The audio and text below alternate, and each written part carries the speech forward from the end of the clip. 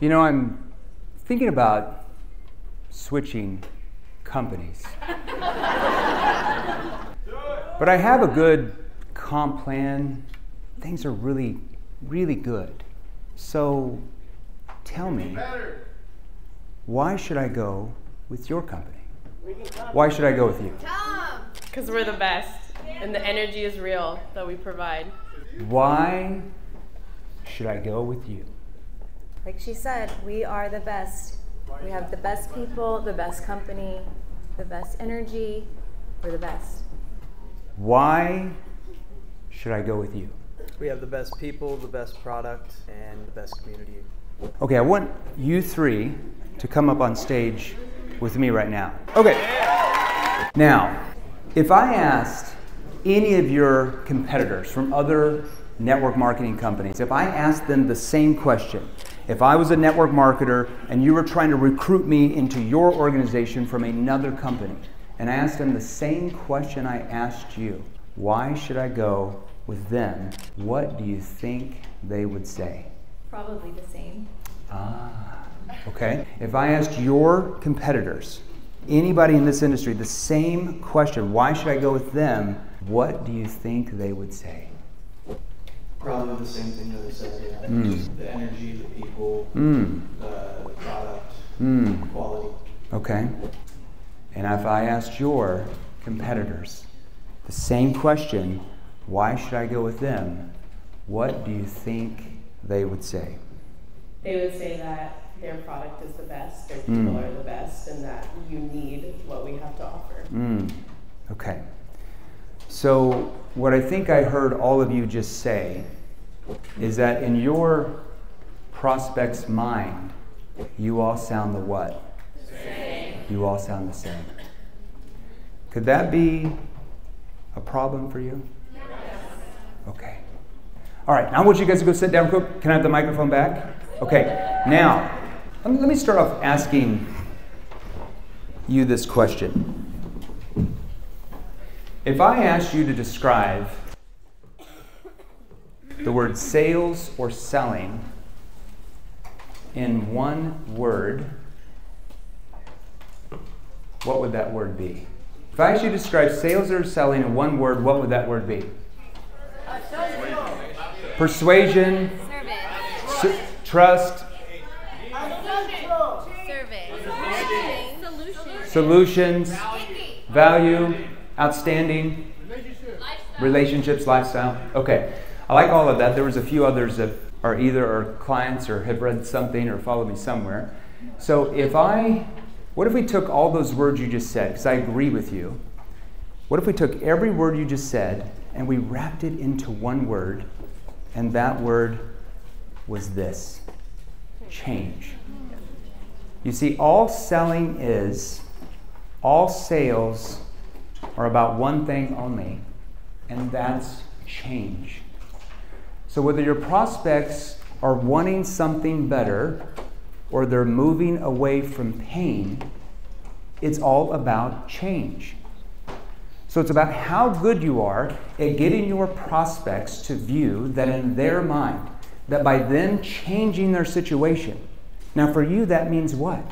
Purchasing what you're offering, starting the business with you, that by them doing that, that is far less risky for them than them doing nothing at all, staying in the status quo, their problems stay the same, and nothing ever changes. Which is more risky? Now, here's your problem though human beings don't like change. Think of what I just said here. All selling is is change, yet human beings do not like change. And why do we not like change? Well, we especially do not like change when it's initiated by some pushy salesperson who's ready to pitch their solution quickly in the conversation.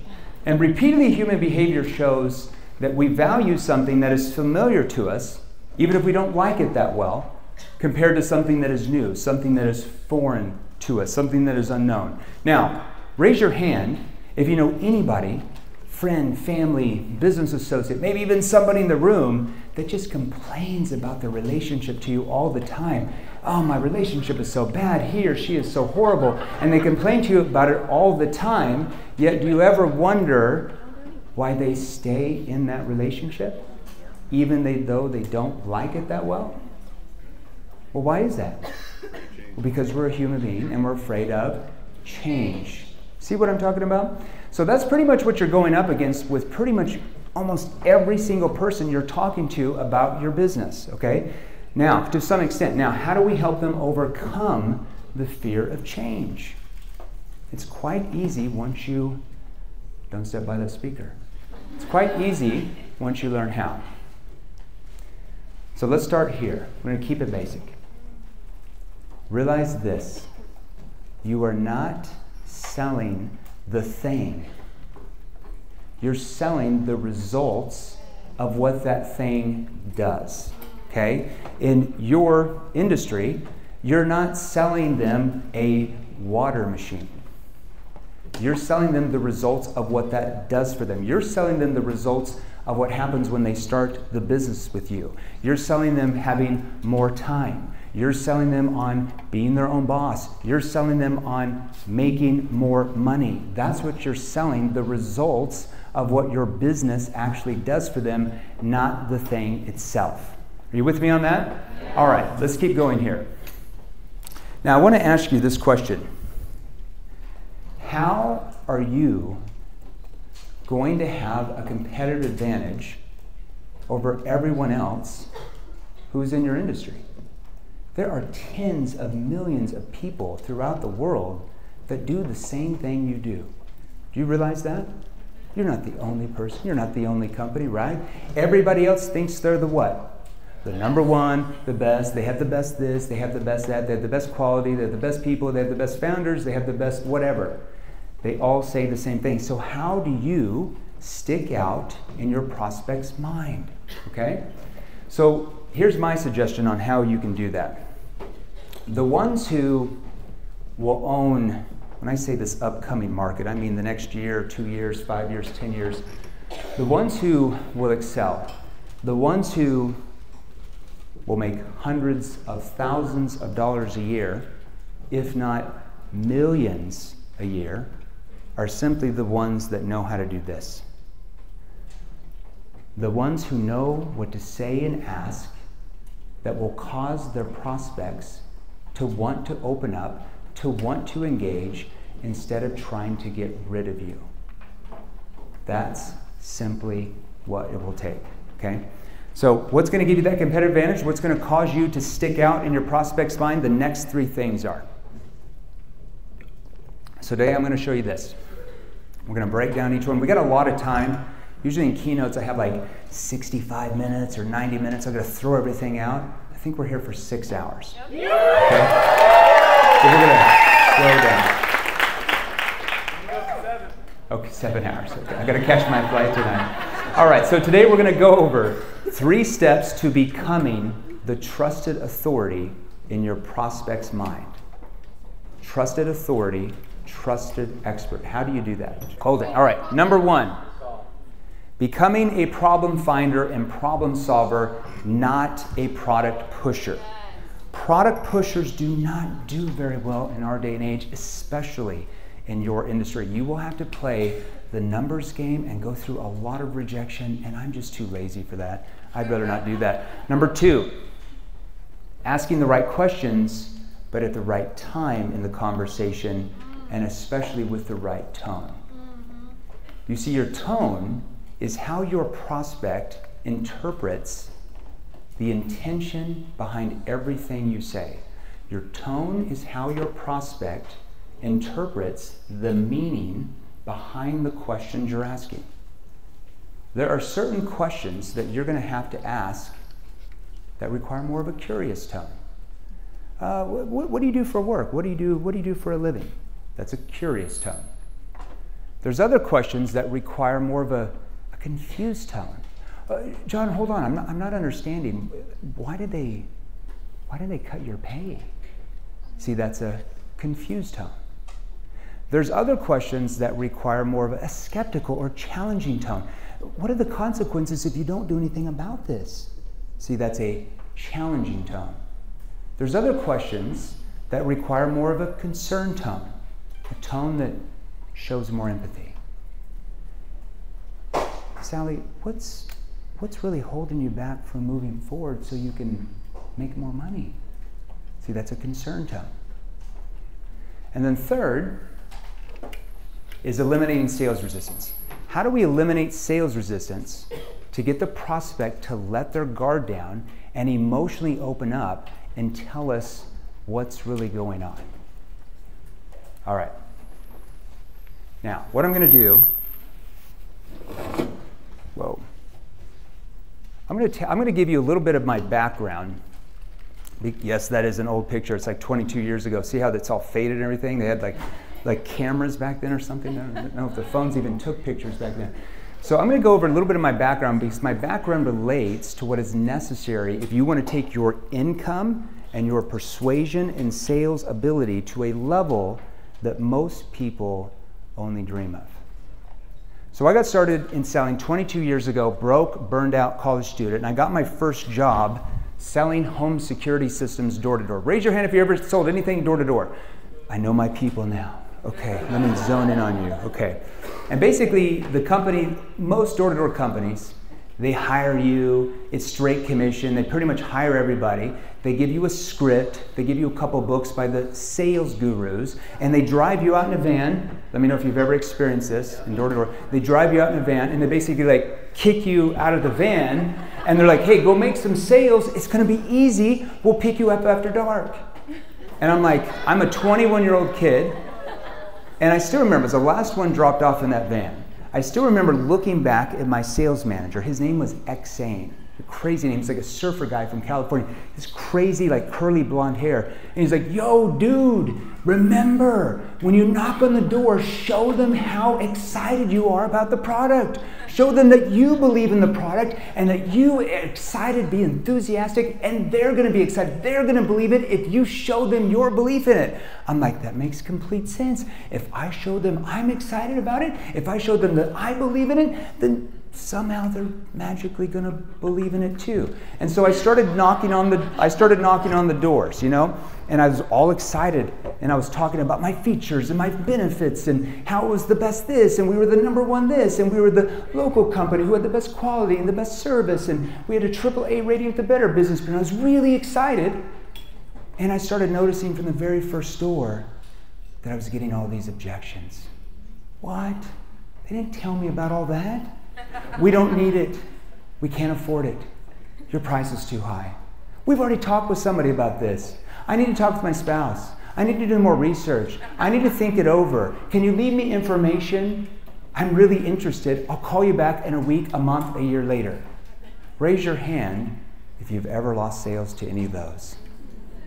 Few of you back there have not lost any sales. That's remarkable back there.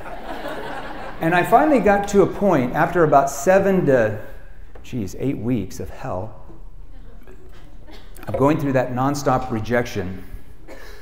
I finally got to a point where I'm like, this is not very fun. And I remember one late Friday evening, about to be picked up from the sales manager. I remember standing there on the curb, sweat rolling down my chest. You're talking like into July, early, like into June, early July heat. Sweat rolling down your chest, your back. If you've ever sold door to door after like 12 hour days, your legs are what? Jello, like they're toast, like your uh-huh. legs are. I still remember like rubbing my foot on the hot concrete. If you've ever sold door to door, you you know that's an inside story. And I had worked 12 hours that day and made zero sales. So when you make zero sales and you're door to door and it's straight commission, that means what? Oh, zero dollars. Oh, no good. In fact, that entire week, I'd worked 60 plus hours and made zero sales. Zero dollars. And I remember thinking, you know, feeling pretty defeated as a human being. And I, and I thought to myself, you know, maybe selling maybe selling just wasn't for me. Have you ever felt that way yourself? Yeah. Have you ever, like, looked into your bank account and noticed you had more going out than you had coming in? Um, well, that's where I was at. Completely desperate. And when my manager picked me up that day, he popped in a Tony Robbins CD. Yes, 22 years ago, people listened to those like round things called the CDs. You know, you plug it, it's just really a miracle. And Tony said something like this. He said this. I could be butchering it, Tony, if you're listening. But he said, You will fail for the simple reason you don't learn the right skills necessary to succeed. You will fail if you don't learn the right skills necessary to succeed. Now, he went on to say that everybody is pretty much taught skills. But he said the people who do not do as well, who, who don't succeed, are the ones who are not taught the right ones. And he goes on to say that there are differences in skill level. And for the first time in my 21 year old life, I was thinking, oh, I, I never knew that some skills maybe were far more effective than others. That maybe what the company was training me and what I was learning from what I call the old sales gurus, no pun intended, maybe they just weren't the right skills anymore. Maybe they're outdated. Maybe they didn't just work as well. So I committed to myself that I'm going to, well, I'm going to have to learn how to do this. I'm going to have to develop, I'm going to have to learn the right skills. Because I know you, like me, want to provide a great lifestyle for your family as well. Is that the reason why you're here? Okay. Now, at the same time this was going on, same time I was using traditional selling skills. So, you know, from the gurus, from the, the company, what they were training me, and I would notice there was this major dilemma going on in mind because I noticed when I would use some of the things they were training that they would work. And I would make some sales. But I also noticed a lot of times I used some of the things they were saying, I would actually lose a ton of deals. I noticed when I would say certain things and I would be more assumptive, especially in the beginning, it was like my prospects would like close down and I'd get more objections. And I'd have to chase and I'd have to follow up with them all of the time. And it was almost like I was begging them to solve their problems with my solution. It was like I, I noticed that when I would ask questions, they would give me vague, generalized, surface level answers. Raise your hand if you've ever noticed that. Now, the same time this was going on, I was in college and I was majoring in behavioral science and human psychology. And I'm not going to give you the scientific mumbo jumbo, you might get bored. But really, behavioral science is the study of the brain and how we make decisions. Why does the brain say yes instead of saying no? Why does it look at a sign that says go left and actually go left? Like, what triggers that to actually happen? Now, my behavioral science professors, while I was in school, they were saying that the most persuasive way to communicate was over here. Now, one of my, uh, one of my professors was by the name of Robert Cialdini. Anybody ever heard of Robert Cialdini? I know Colton, we were talking about it. Okay, he's head of behavioral science at Arizona State University. Uh, wrote uh, Persuasion, Power of Influence, some of those great books. And also other professors that I was learning from. They were saying that the most effective way to communicate was here. Now, the sales gurus and their training programs, they were saying it was here. Talking exact opposite. So, like, there's this thing of, like, what should I do? I don't know who to believe. Like, what's going on? So, I'm like, how do I take what I'm learning from how the brain makes decisions, human behavior, psychology, social dynamics? How do I take that and bring that into a step by step sales structure? Because that didn't exist at that time.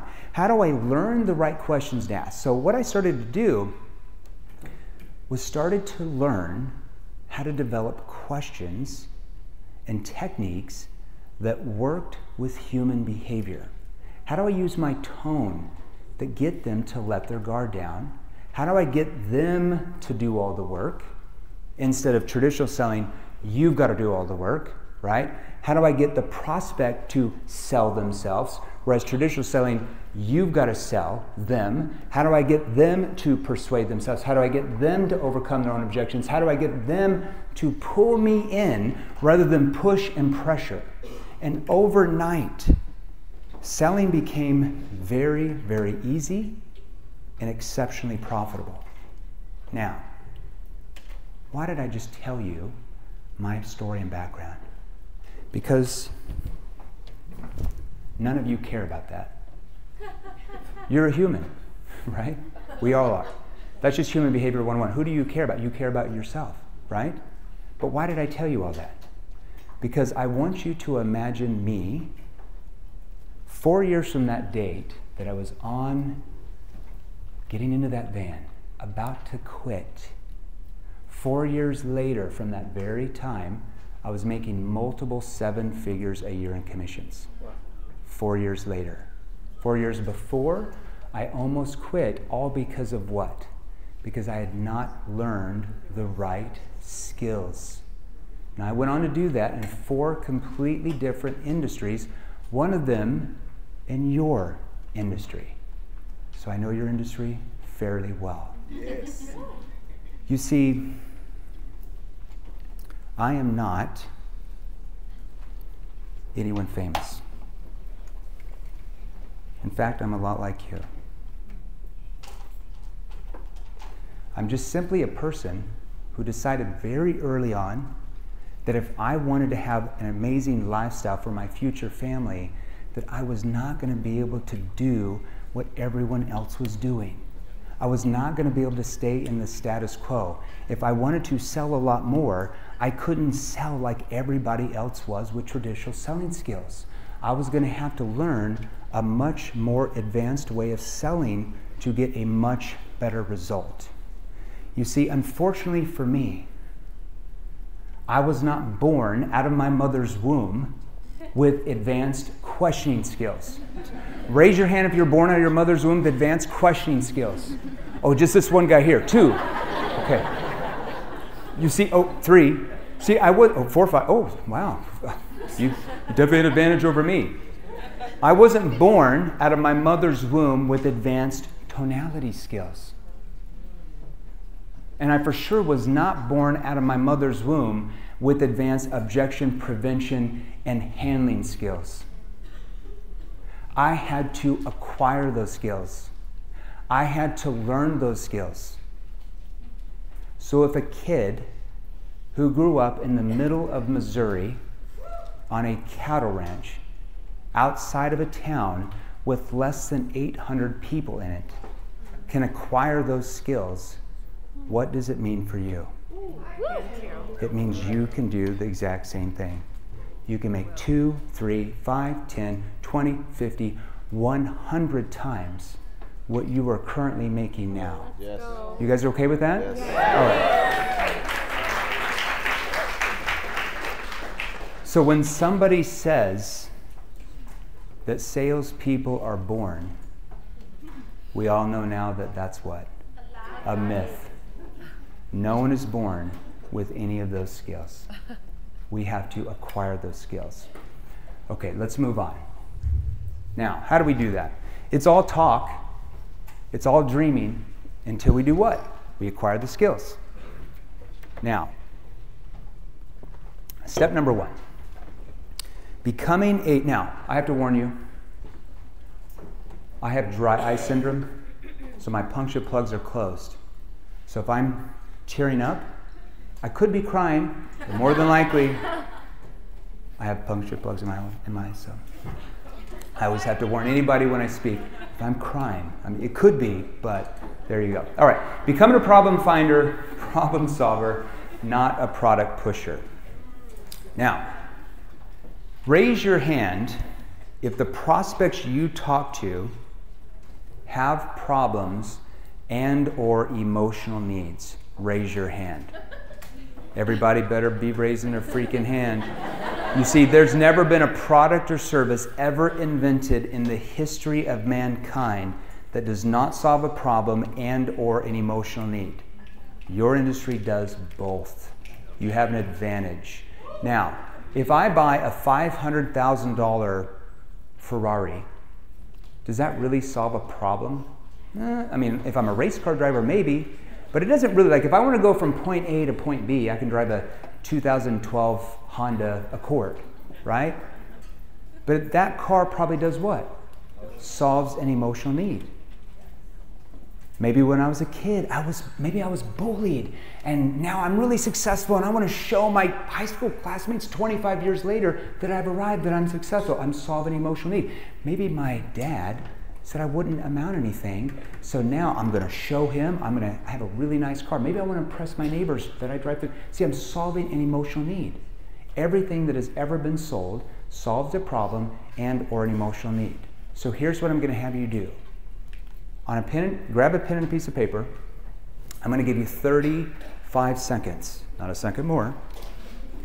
And I want you to write down the two biggest problems, write down the two biggest problems that you solve. That could be through your product or your business. Write down the two biggest problems that your products and services solve. You might want to all write that down because I'm going to come ask some of you. Write down the two biggest problems that you solve with the business or your products? Somebody raised their hand that's already written that down. Right there. Yeah. Health and finances. Health and finances. Okay. Uh, yellow. Money and time. Money and time. Yes, you. Uh, dreams, vision, and mission bigger than the life that they're living, and looking for a sense of belonging and support as an entrepreneur. Valid. Okay. Yes. Um, answer to chronic health issues and a vehicle to creating generational wealth without golden handcuffs. Okay, good. Those are all problems, and emotional needs that you solve. Now, here's my suggestion as someone coming from your industry that did fairly decent, made a few dollars. The two biggest problems that you really solve that you probably want to focus on if you want to build big organizations and help a lot of people is a lack of money and a lack of time. Those are the two biggest problems that you solve lack of money, lack of time. Now, how many people do you even know in your own circle of influence, or business associates, or people walking down the street, or neighbors, or anybody that want to make more money or have more time with their families? Okay. See, everybody in the world is a potential customer for you when you start viewing it from a different viewpoint. Everybody in the world, except maybe about the 900 some billionaires, want to make more money. Well, actually, they want to make more money, and they want to have more time. Okay? Those are the two biggest problems that you solve. Now,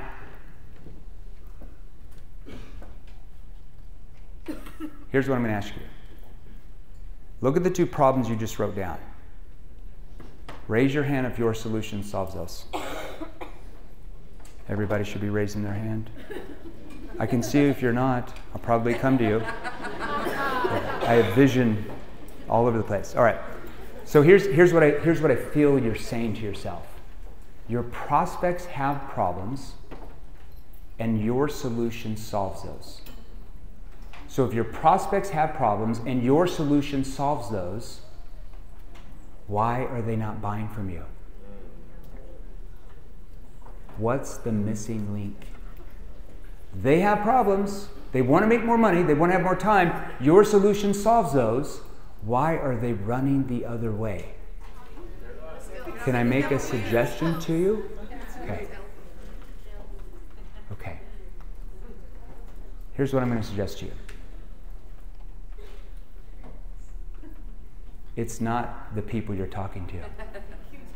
It's not the leads even though a lot of you think it is, oh, my leads are broke. They have such a limited, limiting belief. They just have a fear. Everybody I talk to is broke. it's not your mindset, even though some of you believe it is. Can I say something that might sound really harsh right now? Okay. I'm just being real with you. Because if I'm not real with you, I'm, I can't really help you. It's not that you don't have a great mindset, or that you don't journal enough, or you don't take enough cold showers, or you don't meditate enough. Even though I love those things, none of those things are going to help you communicate to your prospects. It's not that you don't even read enough personal development, even though I love personal development. Because when the prospect says hello, if you don't know what to say, if you don't know what to ask, if you don't know how to use your tone, you're going to get slapped in the face very, very quickly. And all that personal development is going to go out the window extremely fast. Even though I love personal development, it's not going to help you sell more. It's not that you're not motivated enough. You're all motivated. You came here. That tells me and you what? That you're serious about changing your situation. Otherwise, otherwise you'd be at home watching football or you know doing something else, shopping. And it's damn well that you don't work hard enough. Raise your hand if you work hard. Raise your hand if you work hard. See, you all work hard. I know lots of people in this industry that work their butts off that are still making no hardly any money. So if it's none of those things, what on earth could it actually be? Now, before I suggest to you what it could be, I want to ask you this question. Raise your hand if you want to triple the amount of sales you made last year and or triple the amount of people you bring into your organization and business. Raise your hand.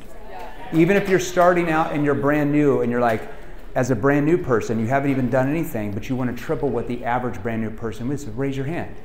Now, keep your hand raised if you can triple the amount of hours you're working right now. Keep your hand raised if you can triple the amount of hours you're working now. You already work 8 to 10 hours a day. You're going to work 16 to 24 to, well, you can't go past 24. You're going to work 16 to 24 hours a day? Come on, let's be real. You can't, you, that's not going to last, even if you try. Right? So, if it's none of those things, what is it? It's this.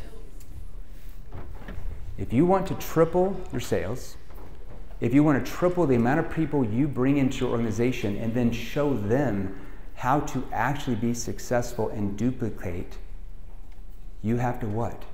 You're going to have to acquire a much higher level of sales ability than you currently possess today.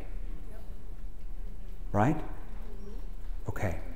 Now, it's what you're saying, it's what you're not asking, it's words you're using that's triggering sales resistance. That's once you learn how to tweak those words and how to use your tone, everything can open up for you. And that's what we're going to focus on throughout this day. Now, I'm going to ask you this question as well. Who in here, raise your hand if you like to read books? Raise your hand if you're a reader. Okay, or you listen to books on audio. Maybe you're driving around your car. That's what a lot of us do, right? The first sales seminar that I ever went to was by a, a, a guy by the name of Brian Tracy. Raise your hand, ever heard of Brian Tracy? Yeah? Good friend of mine. Um, first seminar I ever went to after that dreadful summer. Okay, first sales seminar I went to. And Brian said something that stuck in my brain ever since. Brian said this He said, Use your vehicle as a university on wheels. And from that, when I, when I saw him standing on this type of stage in Salt Lake City, Utah, in September of 2001, yes, I'm that old, when I was in school, that changed my entire direction. From that moment on, I turned the radio off and I started listening or reading to five books a month times 12 months a year that's 60 books a year on sales, persuasion, and influence times the past 22 years. If I did my math right, that's 1,360 some books. Now, a lot of people ask me, Jeremy, how do you have time to read five books a month? I don't. I typically listen to three, and I typically read to two. Now, where do I listen to three? Well, there's a thing called a car that you drive around. So instead of listening to Taylor Swift, even though I love you, Taylor, or listening to your favorite songs, maybe you're into heavy metal or country or rap or whatever you listen to, or how many of you listen to politics or the news? Because how many of those things you listen to right now in your car, how many of those things I just listed make you money? Zero. None of them make you a dime. And look at all the time you're wasting. Three minutes here, five minutes here, 10 minutes to the grocery store, seven minutes to church, seven minutes back to church, 10 minutes to pick up your kid, 10 minutes to come back home, 10 minutes to work. There's an hour and a half probably a day that you could acquire the skills. And some of you say you don't have time. Probably not this group, though. Now, in every single book I've ever read, or you've probably ever read, there's usually two things it says. It usually says always be closing, ABCs of closing. That's kind of a given that most of them book. And it also says you have to be a problem solver. And I agree with that. But as I really started to think about what problem solving meant, problem solving does not happen until after they purchase. You can't be a problem solver if they don't buy your product or start the business with you, right? How can you be a problem solver if they don't purchase from you? You can't. You see, problem solving happens after they buy, after they have the machine, after they start the business with you, and you're training them what to do for your industry. So if you want to bring a lot more people in than you are, if you want to make a lot more sales, you have to become much better at this. This is what's called problem finding. Now, what does problem finding actually mean? Problem finding is asking the right questions at the right time in that conversation to get the prospect to see and feel that they have many more problems than they originally thought they had. Now, when you first start talking with a potential customer or prospect, most of them don't know what? That they really even have a problem. Am I right? Yeah. If you start talking to them about your machines, I'm assuming, I'm going to go out on a limb, that they don't sit around on Sunday afternoons really diving into like how bad the water is that they drink. Just going to go out on a limb on that, okay? They might say they want to make more money or have more time, but they don't really sit around having some plan about how they're going to do that. Right? Am I right on that? Okay. So if we can't get them to understand that, so we have to help them see that they have many other problems, challenges they didn't, didn't know they have, okay? Now, when we do that, when we're able to help uncover problems in their mind that they didn't know, because most of your prospects probably know they have a problem, especially making money and have time, but they don't really know what how bad that problem really is. They don't understand the depth of that problem. They don't understand the consequences of what happens if they don't do anything about solving that problem. Now, through learning, and we're going to, we're here all day, through learning advanced questioning and probing and tonality and body language, that allows the prospect to start seeing many other issues and problems they had never really internalized themselves. That causes them to build urgency in their mind that they want to, where's that word again? Change. Okay? All right, let's keep moving on. Let's slow this down a little bit. Now, what are most salespeople and distributors? Unfortunately, most sales and distributors are this Am I right? I mean, let's be real. Some of you don't believe you're this, and it's not your fault that you were maybe trained this, but it is your what? It is your problem. It's not your fault, but it is your problem. And nobody's going to save you but who? Yourself. Nobody is coming to save you. Okay, now, what are most salespeople or distributors in your industry trained to do? If I, well, let me ask you this. I've got a, I've got a dandy for you. It's all coming back to me now. It's like riding a bike. If I'm driving down the road and I'm with my friend, and my friend says, Oh, God, I hate my job. Freaking sucks. Company just went through a merger. I might get fired. They're just not paying me that much so sick of this. Like, never get to see little Susie, you know, piano recital. I don't get to see Johnny playing soccer. Your friend says that, and then what do you say? Just be real. Just be real. What do you say? Oh, that sucks. You know what? I just started this amazing opportunity. It is so awesome. Like, I know some people that are making so much money and they work from home. In fact, we have this machine. It's like this uh, machine that like gets rid of disease and like we get to you know we drink the water and like oh the water is so bad for you. In fact, like when I found out about the water, it was like oh my gosh, I can't believe the water. like uh, just the plastic water and, and everything. And like, you know what? There's a webinar tonight. You should definitely come. It's so cool. Like they're gonna go over like the, how bad the water really is that you're drinking and it causes all the disease. And they're gonna go over like this income opportunity. And in fact, my mentor, she's making sixty thousand dollars a month. That is so insane. It's so awesome. So I'm gonna email it to you, and then after you go through it, um, will you call me and I'll, I'll take you through the details and how to sign up? Is that you do something like that? Oh. Product pusher. And then your friend says what?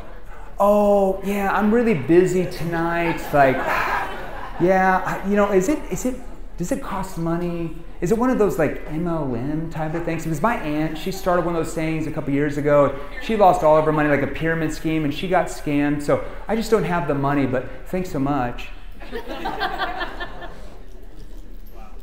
and then you're left like, she had the problem. Your solution solves those problems. What was the missing link? What you're saying. What you're not understanding how to ask.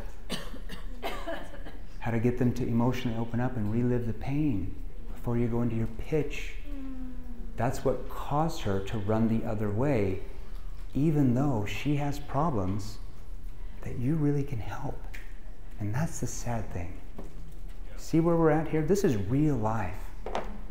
If we can't help somebody overcome the fear of change, who is that on? Them or us? It's on us. And the moment you start taking responsibility, if you don't bring somebody in that you started talking to, like, and you start thinking, like, what did I say? What did I, what did I not ask? Like, ah, was I, was I too fast to jump in? And you start to internalize it rather than saying, just a numbers game, just talk to as many people, just got to get as many. What, what's the saying in network marketing? Uh, with the no's to get to the yes. What is it? No, go for no. What, what's the other one? No gets closer to the yes. There's other ones, the cliches. Uh, well, I know what you're talking about, but there's there's the other ones. It's like oh, it's like uh, no, so what? Who cares? What's what? What is it? Somebody stand up. What is it? Some will, some won't. Some will, some won't. Who cares? Who cares next? Yeah. That's exactly why you're not where you're at financially. Sounds really cool. It's a cool cliche, but it's not really helping you, is it? Unless you really love playing the numbers game. What if we worked on and started playing the skills game? What if we focused on every word we're saying, every question we're asking and not asking, and how to use our tone, and we focused on every quality of every conversation we're having. Do you ever watch any movies or does anybody ever watch like the NBA? You know, like Steph Curry. Anybody know Steph Curry? Everybody heard of Michael Jordan, all those LeBron, Tom Brady. Can you imagine Steph Curry? He's like the three-point guy, right? Oh, yeah. Can you imagine? Can I set this here? Is that like vodka or what is that? Yeah. Good Lord, jeez, what's going on up here? This is a VIP table. Apparently, I like that. Can you imagine if Steph Curry said that basketball was a numbers game? Oh, just shoot as many threes as you can. I mean, eventually you'll hit one out of 25. Just a numbers game. Just keep shooting it. You'll eventually hit one. Would Steph Curry be in the NBA? No, he would have never made his high school team. See, Steph Curry knows that basketball is a skills game. So he's focused on his technique every day. He's practicing his hand motions, his dribbling, right? His legs, his, his hips, how he gets open, his movement, his wrist. And that's why he's become the best. Because he's focused on the skill game, whereas so many of you are still focused on the numbers game. Can I help you with that? Okay. All right. Now, let's keep going. Let's keep moving on. And here's what I, oh, I have to say this. Some of you might get angry. So when we go through what I just did out there with all that stuff, when you're talking to your friend, ah, blah, blah, blah, we get all this stuff, right? We're get all excited, enthusiastic. We have the best this, we have the best that. That is the equivalent of like this taking a bucket of mud, throwing it up against the wall and hoping and praying that something you just said in that two minute, whatever that was called, is going to magically cause that person to want to buy from you and be interested from you. We call that hopium. It's a drug. It's a drug that so many entrepreneurs, distributors, salespeople take where you hope and pray something you're going to show them in that webinar is going to magic that you're inviting them to because the webinar does the selling for you. It's going to magically cause them to want to buy. You'll get the laydowns, but you're missing the other 98% that still have the same problems and the same challenges that you could help as well. Don't do drugs. If you want to be a top 1% earner in this industry, drugs are not good for you. Don't take the hopium drug anymore. That is a hard way. It's unpredictable. There's no way you can make a living in this industry, or any industry for that matter, taking the hopium drug. Okay, let's go to step number two. Here we go. All right. Step number two asking the right questions at the right time. Now, remember, let's go back. So, remember, I was in college. Remember, I was majoring in behavioral science, human psychology, the study of the brain, how human beings make decisions. So, check this out.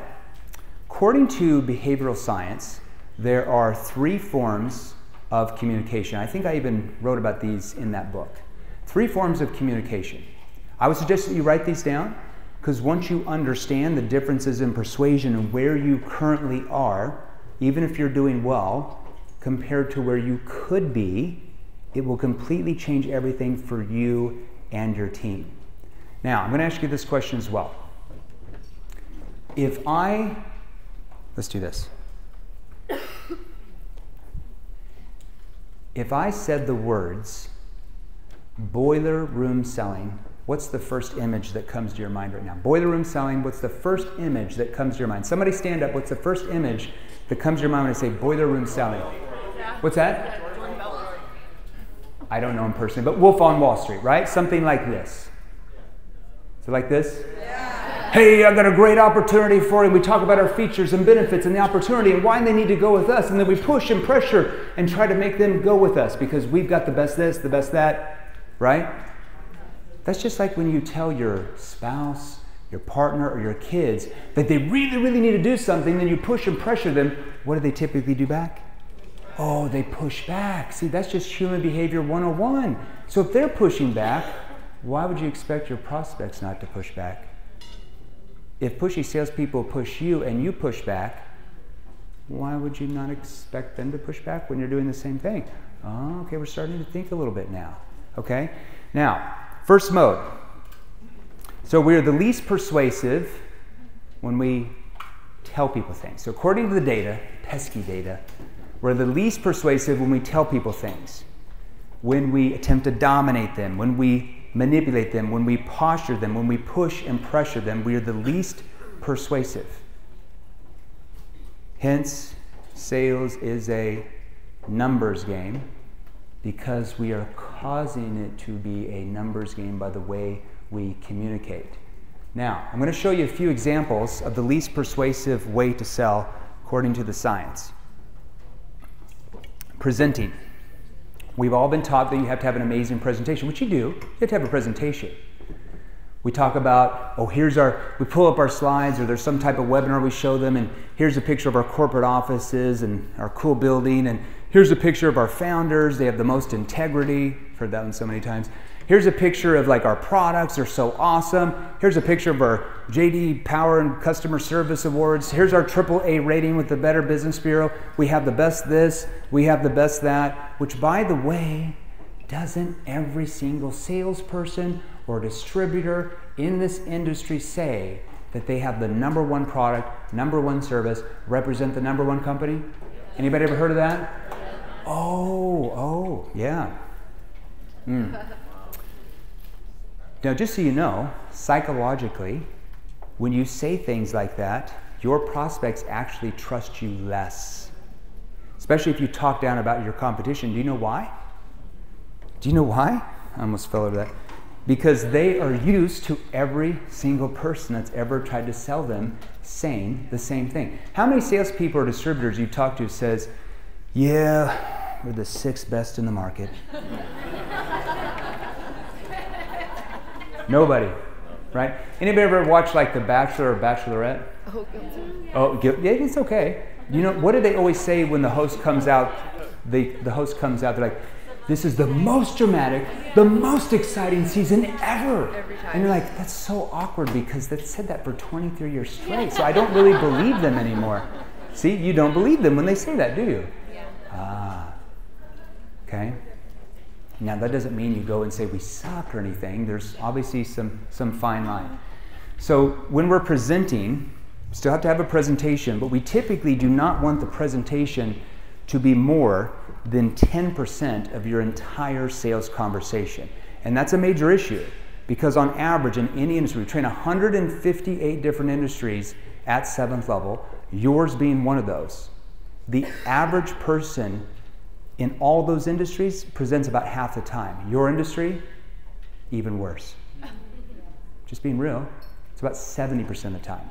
You are talking 70% of the time about your thing, okay?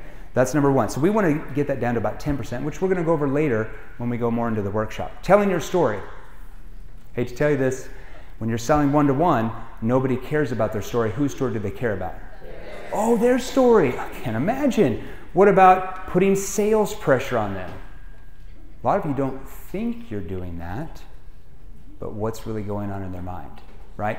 See, there is a massive difference, and we're going to talk about this later today when we go through the scripting. There's a massive difference in getting your prospects to feel so much internal tension, internal tension about their problems, building a gap from where they are to where they want to be, feeling that internal tension, then putting external sales pressure and pushing them. Now, internal tension can only happen by one of two things. Either they're a laydown, like Brian says, every blind squirrel eventually finds a nut, and they're going to buy from you no matter who you are. You can't even talk, if they're going to sign up. There's that one person out there. You know what I mean? The one or two a year you're getting? Okay, that's, that's that. Or you're questioning ability and your tone helps build that internal tension. We're going to talk about that. Okay? And remember, what is the biggest emotional driver in a human being that causes them to want to change?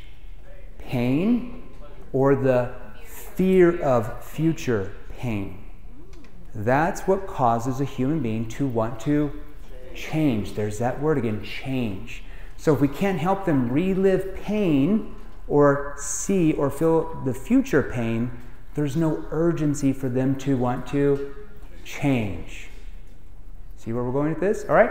And then another one, here's the big one assuming the sale, especially early in the conversation. And that's exactly why, not all, but most of probably the sales training you've gone through says that sales is a numbers game, right? And I always thought, okay, sales is a numbers game. You got to call more leads, you got to work more, you got to work harder. You know, just get more no's. It's going to lead to the yes. How does that give you any competitive advantage over anybody else? You're just going to work harder, and somehow you're going to make it. Basically, what that sales trainer just told you is, what I'm training you doesn't really work that well. So unfortunately for you, you're just going to have to work harder and just call more leads. That's not very nice of them. I don't want to work three times as many hours, right? All right? Now, it's exactly why we trigger what's called fight or flight mode. And we're going to talk about that later today. Raise your hand if you've ever heard of fight or flight mode. Ah, raise your hand if you know how it's triggered in the brain. More than likely, most of you probably don't know that, unless you have a background in psychology. Okay? All right. And error number two cons- uh, consultative selling. So, consultative selling, the second mode of selling, came out 70s, early 80s with books like Spin Selling, Neil Rackham, uh, Sandler Institute. Um, and they taught, and Neil Rackham, college professor, never sold anything, by the way, but they taught that you needed to ask questions or logical based questions to find the needs of the client. But what's a potential downfall of only asking logical based questions? What type of answers are our prospects going to give us in return? Logical based, surface level answers. And do human beings buy on logic or emotion? Emotion. emotion.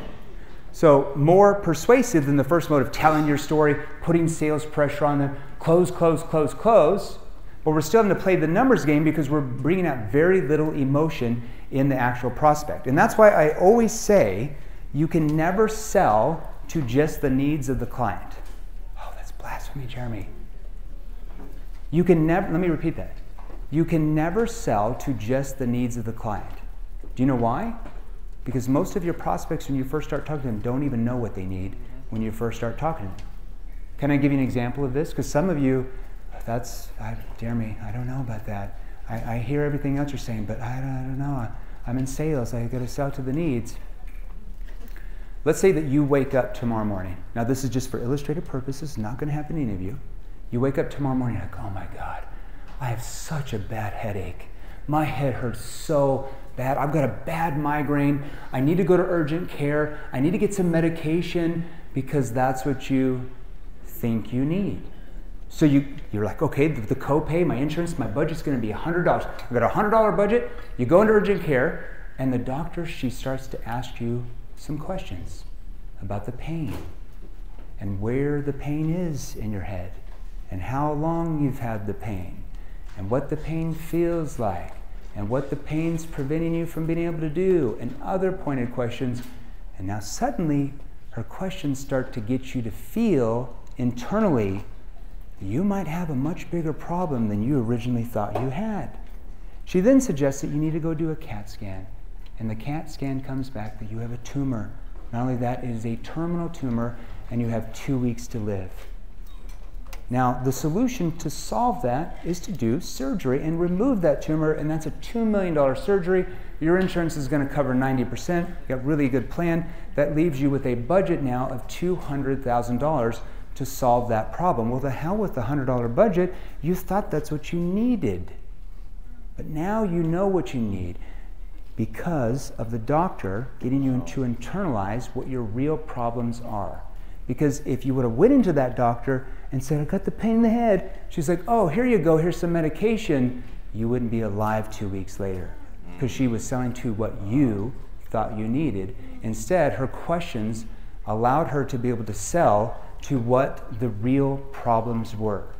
Never sell to needs, sell to what your questions help you and them find what their real problems are. See the difference in what we're talking about? These are massive differences that take you from here to making seven figures or more in your business every single year. All right, now let's keep moving on. Can I show you some questions? I see lots of scripts. So we, we train every industry, including yours. We have global sales trainers all over the world. We see all these scripts all the time that come into our offices. Now, can I show you a few? Now, okay, here's, here's my concern in doing this. Can I, can I tell you my concern? Okay. Okay. I'm concerned for you that if I show you some surface level questions and then show you what they're really doing in the prospect's brain, that it's royally going to screw you up tomorrow when you start talking to prospects again. Okay? So we have to decide here which direction we're going to go. Now, some of these are from you guys, so I paid attention. And these actually are not bad. Okay, from I've seen a lot of network marketing scripts. Promise you, these are not bad. They're pretty good, but I can show you how to make them a lot better. Okay. Okay. okay? Because my concern is you're going to be like really screwed up because you thought they're really working well, maybe not so well.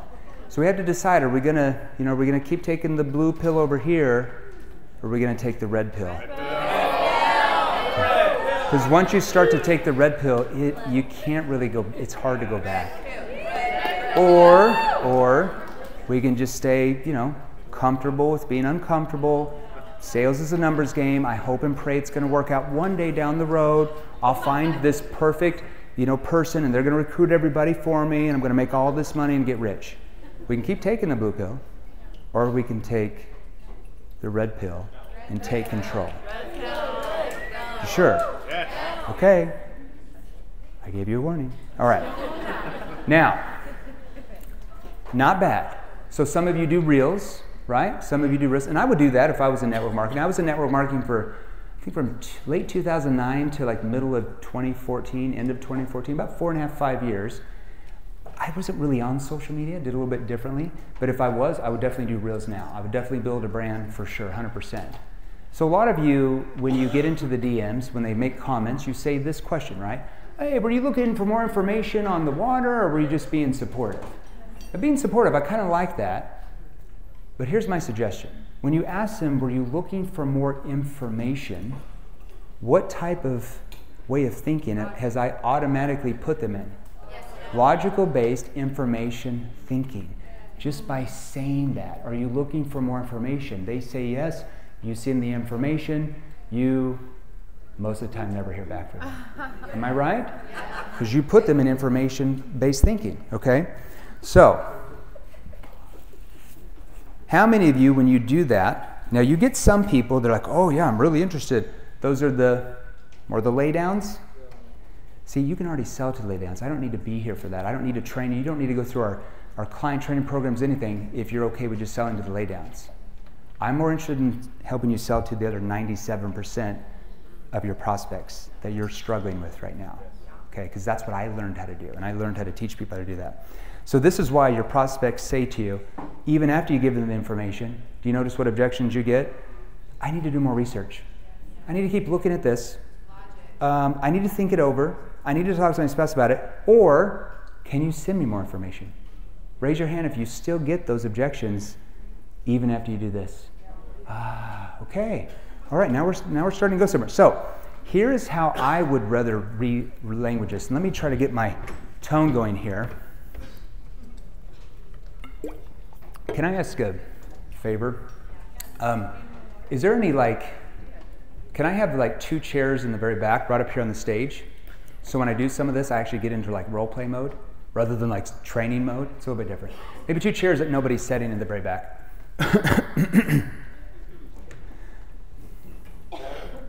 So I might change it to a little bit of this. Now, let me help you with, well, actually, you're in the DMs, but if you were on the phone, I would show you the tone. Hey, I saw you uh, comment on that post I did about the differences in water and how blank water can help eliminate blank. So I'm going to take that as a compliment because my kids say I'm pretty boring and put a smiley face on it. Now, this does a few things. I saw you comment on that post I did about the differences in water and how blank water can eliminate blank, whatever you guys put in. So I'm going to take that as a compliment because my kids say I'm pretty boring. Put a smiling face. Now, what does that do? Okay. First, I seeded doubt in their mind that maybe, a little bit of doubt, just beginning, maybe the water they're drinking might not be so good without me saying that. I'm starting to seed it just a little, just a little bit. We'll get into how you seed it better than this, but this is just a little bit. You got to seed it like just. You got to give. You ever heard that saying in the scriptures where you got to give them the milk before you give them the meat? This is what we do in selling as well. Okay, I do want to hop in. Now, what that does is it piques curiosity. So instead of information dumping, I'm triggering curiosity. I'm more neutral. Okay. Now, second, when I say I'm going to take that as a compliment because my kids say I'm pretty boring, and I put a smiley face, that does what? It helps disarm them because I'm almost like making fun of myself. Not in a horrible way, but I'm just kind of making fun of myself. You know what they're going to do? Oh, watch. Nine out of ten say like, "Oh, I'm sure you're not boring." So even though now I had to put the smiley face behind it because if I don't put the smiley face in the DMs, they're like, oh, you are pretty boring. It looks weird. or if I'm on the phone, I'm like, oh, you know, just hanging out, being the boring guy. But if I'm like, just hanging out, being boring, oh, yeah, that's, he must be really boring. Okay, so see how my tone affects that? So if we can't use our tone in the DMs, then you just put, you have to use the emojis. It's kind of like your tone there. The emojis like signify the emotion that you're using. So on that, I put a smiley face behind it just do it next time and watch immediately the first thing they say, Oh, I'm sure you're not boring. Now that helps them let their guard down. Now that you, you can't just be like, Oh, hey, let me tell you about it. Oh, Jeremy didn't work. I, well, then I look at it, you're like, Well, you just started talking about your thing right after. Of course not, okay? So that's just one way. Okay, and we'll, we'll keep working on this, all right? This is just something I threw together real quick. What do you know about living water?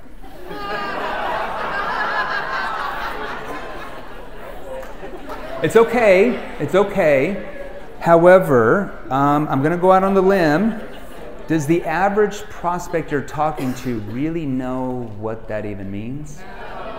Mm, that could be a problem for you, okay? Um, and it's just a very surface level question. So instead, like I said, we want to start building a gap from where they are to where they want to be. So instead, I'm going to do something like this. If I'm focused on the water, most of the time I wouldn't be. When we go through the workshop, I'm going to show you how to really focus on the two major problems making more money, having more time, and then how them purchasing the product helps them start the business. A little bit of a different angle. I'm going to show you exactly what I did Anybody have an organization that has over 300,000 people in it here? Oh. Does anybody want to learn how to do that? Does anybody want to know how I did that within like two years? Does anybody want to really understand how I did that as a first year network marketer with nobody not coming from another network marketing company with zero people? Okay. Sure about that? Okay. We're going to focus on that when we do the workshop, all right? So this step here. So when we ask, what do you know about living water? I'd rather relanguage it to this. Oh, give me that chair, thanks. So I can actually see it up here. Hey, um, I don't, I don't have um, much time. Now, this is if you're in the chats, okay? I'll show you on the phone or Zoom, a little bit different. Hey, I don't have much time to chat, but do you, do you like drink water from like the tap, like the the unfiltered city water or some type of like basic filter, or you just buy like the plastic bottled water from the store. now, what did my tone what did my tone communicate to you? Curiosity and kind of like concern. That seeds what in the prospect's brain? That maybe there's an issue with what I just asked. Because what if I said it like this? See the difference in the tonality. What if I said it like this? Hey, I don't have much time to chat, but do you like drink water from the tap, like the unfiltered city water, or some type of basic filtered uh, plastic bottled water from the store, or what do you do? Oh yeah, I just I just go to the store. Oh, but if I do like, hey, um, I don't I don't have much time to chat, but do you like um, drink water from the tap, like the you know, like the, the unfiltered city water or like some type of like basic filter or just buy like the, the plastic bottled water. now, what did that seed in your mind?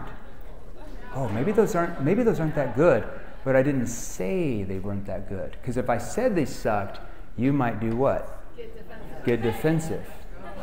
See how I can see doubt by just using my tone and my facial expression. What is your facial expression? Your facial expression is the remote control to how your tone sounds. The first thing they teach you when you go to acting school is how to use your facial expressions to communicate and use your tonality. Because can I have a can I have a skeptical, challenging tone if my facial expression stays like this? That'd be really damn hard to do. I couldn't do that. What if you don't? It's, like, it's hard to do it. What happens if you don't do anything about this? Facial expression communicates my tone. See what I'm doing there? So if I'm in the DMs, I have to use some type of like emoji. Now don't go like crazy emoji, like ooh, gross, because sometimes that'll be a little de- defensive. What I would do is I'd actually send them a voice note. Yeah. Like if I was redoing, because back in my day, 2010, 2014, maybe they had that. I just I had a basic Facebook account, right? I was doing like you know a, a pay-per-click ads on Google or just buying leads or just you know talking with people I knew, right? That's how I, I started my business and built it so big.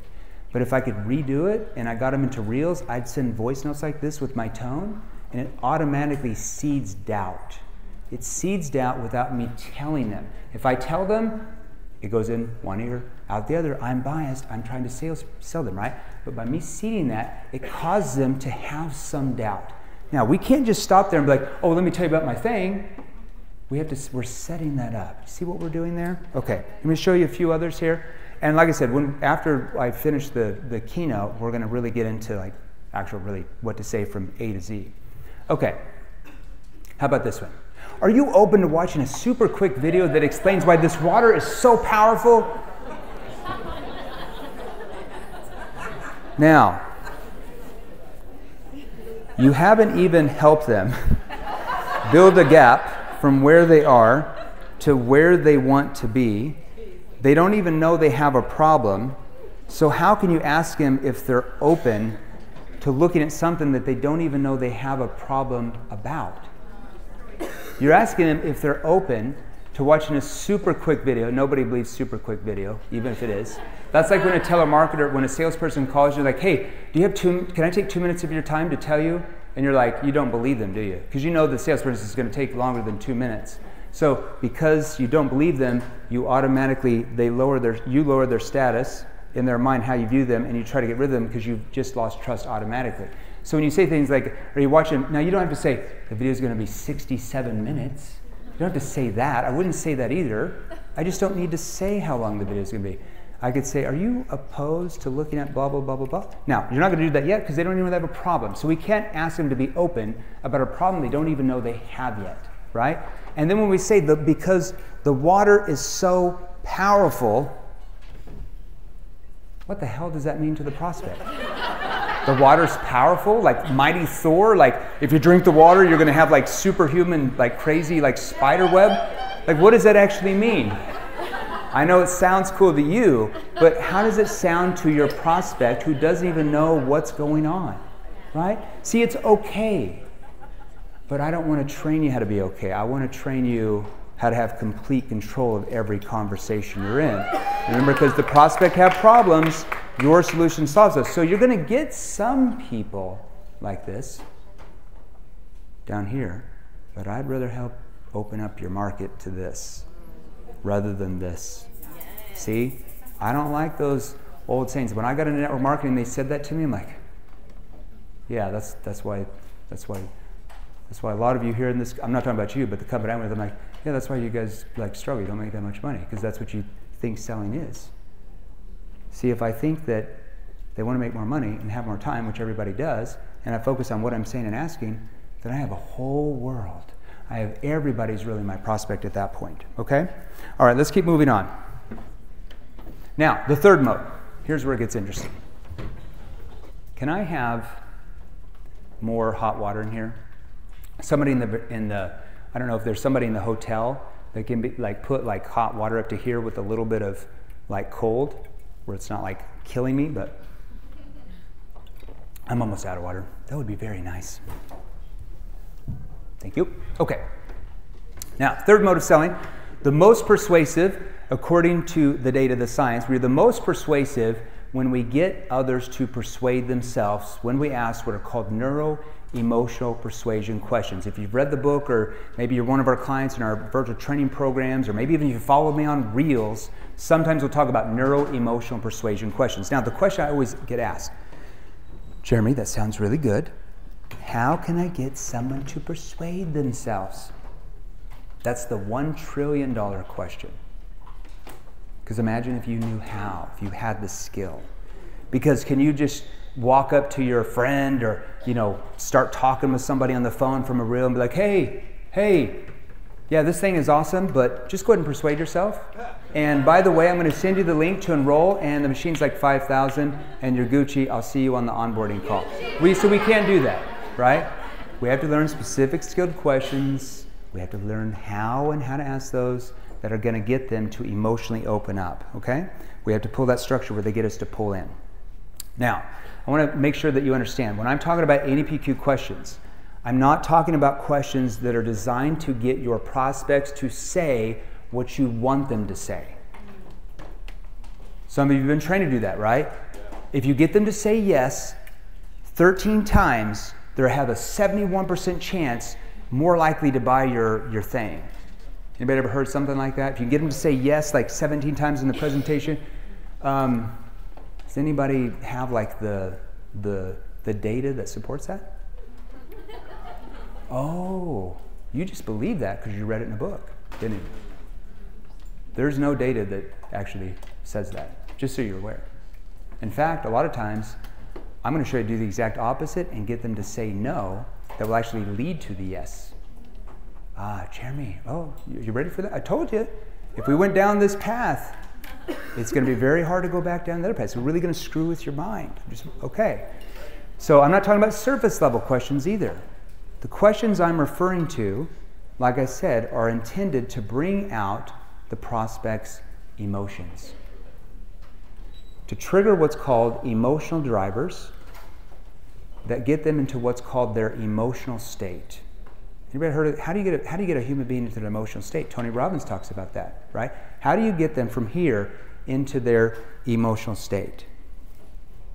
Now, this is a breakdown of NEPQ. These are the five stages. Remember that stands for neuro emotional persuasion questioning. Now, like I said, we train a lot of people in your industry that are in our, uh, our client training, virtual training programs. I've met a few of you that are actually in our NEPQ 3.0 and Advanced Inner Circle, which is industry specific.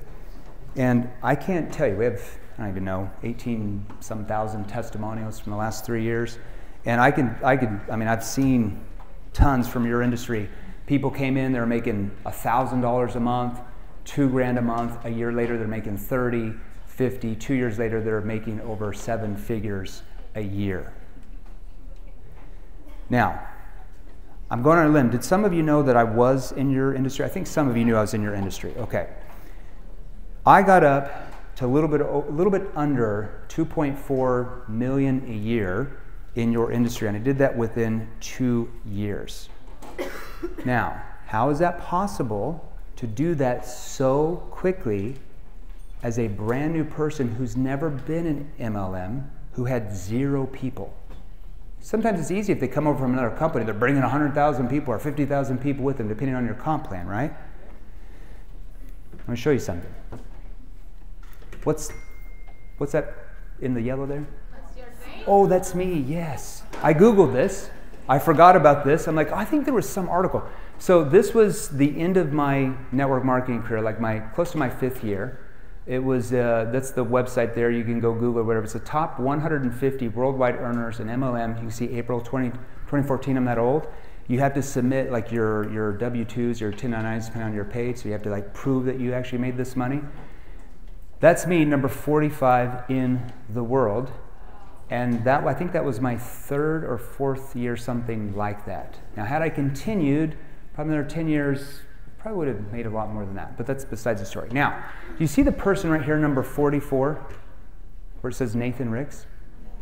He's a, he's a big time uh, network marketer. He passed away actually a couple years ago. I don't know if you know that. He had a, was in a plane wreck. He was flying his own plane. Very sad. But the story behind that, how I got into network marketing, is Nathan Ricks. He was a distributor for a company called Nu Skin out of Utah, if you guys, big company. And somebody in his downline, when I had my sales job there in Utah, tried to recruit me. He brought, like, the guy in his downline brought me to, like, a meeting like this. And Nathan was up there presenting, and he, like, one, the guy wanted to have me meet Nathan. And I remember when I met Nathan after for like, uh, like just like a lunch or snacks or whatever, he totally blew me off. And he later told the guys like, I don't think that guy would be very good for network marketing. And that, when I heard that, because I wasn't going to do it, that caused me to be like, that mother effer, I'm going to freaking show him. and so, now, Nathan, I'm sure it's not a big deal, right? It's, it is what it is. But that drove me, that put like a chip on my shoulder. Had he recruited me in his downline, he'd been further up that list, right? Really, really quick. Okay. There you go. Never judge a book by its cover sometimes, right? There you go. All right. Now, would it help you if I started showing you some maybe NEPQ specific questions for your industry? Okay. Okay. Now I'm only going to show you a few during this next 30, 40 minutes, and then after the break, we're going to come back in. I'm going to show you the entire sales structure, and we're going to role play, and you're going to come up here up to on stage, and we're going to learn. We're going to start to learn how to do this. Now, are you going to be able to learn and master everything today in one day? Okay. As my good friend Bradley always says, is training something you did or is training something you do? Well, training something you do if you want to make a lot of money. Does Steph Curry train something he did or something he does every day? Michael Jordan, something he did. Some, Serena Williams, something she did. Something she does. Okay, Julia Roberts, something she did. something that she does. See, that's why they make all the money. See a parallel with any any successful person you admire in life, they don't view training as something they did. They view it as something they do daily. And that's why they're ahead of you so far. Now, how do you change that? Well, you just do the same thing. Train something you do. Okay? All right, now let's move on. Before I do that, I want to show you how what's going on in your prospect's brain when you, when you talk to them.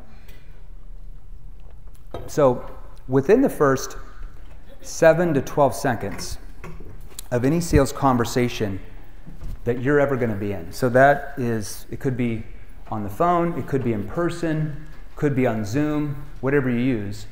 Your prospects, they cannot even help it subconsciously. It's the way our brain is wired by God, are picking up on your verbal and nonverbal cues based off what you are saying and asking and how your tone is coming across that quickly. So when you have a telemarketer call you and they start talking really fast and excited, what's going on in your brain? Salesperson trying to sell something, not interested, and you hang up and do you ever wonder like, oh, I don't even know what they were saying. You didn't even hear the words they said. Isn't that remarkable? Wow. Do you know why? I'll give you a little lesson. I'm going to take a little bit more time. There's three parts of your brain. I'm, I'm going to give you the easy version. Okay? There's I'm not going to. There's different different behavioral scientists will call it different names, but there's like the first part is your survival part of your brain. Uh-huh. It's called like your reptilian part of the brain. That is where you start to pick up on sounds, tone. Okay? So whenever God put the first people here on the earth, whenever that was, okay, we had that survival part of our brain. So when the tiger came around us, we're like, oh, I, you know, I need to protect myself. Now, in our society, we're still trying to protect ourselves from the tigers, you know, the bad, the bad guys trying to shoot us or whatever it is. But we're also trying to protect ourselves from what? Being sold, right? Because you're constantly being sold to every day. Now, some of you are like, no, I don't talk to salespeople every day. Yeah, you do. What's the first thing you do when you wake up in the morning besides go to the bathroom? You grab your phone and you start looking at what?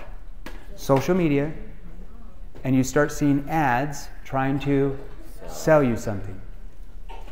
Then you walk into your kitchen, start drinking your coffee, turn on the TV, you see commercials trying to sell you something. You get into the car to go to work or to wherever you're going, you turn the radio and you hear ads trying to sell you something. You drive down the road and there's like these big signs on the side of the billboards and they're trying to sell you something. You go to your job if you're still working full time at a job, and during lunch you get on the phone and you start seeing your aunt, and she's pitching her latest, greatest, whatever thing. The 17 things she's gotten into in the last three years, right? That's the best thing, right? See, you're constantly being sold to all of the time.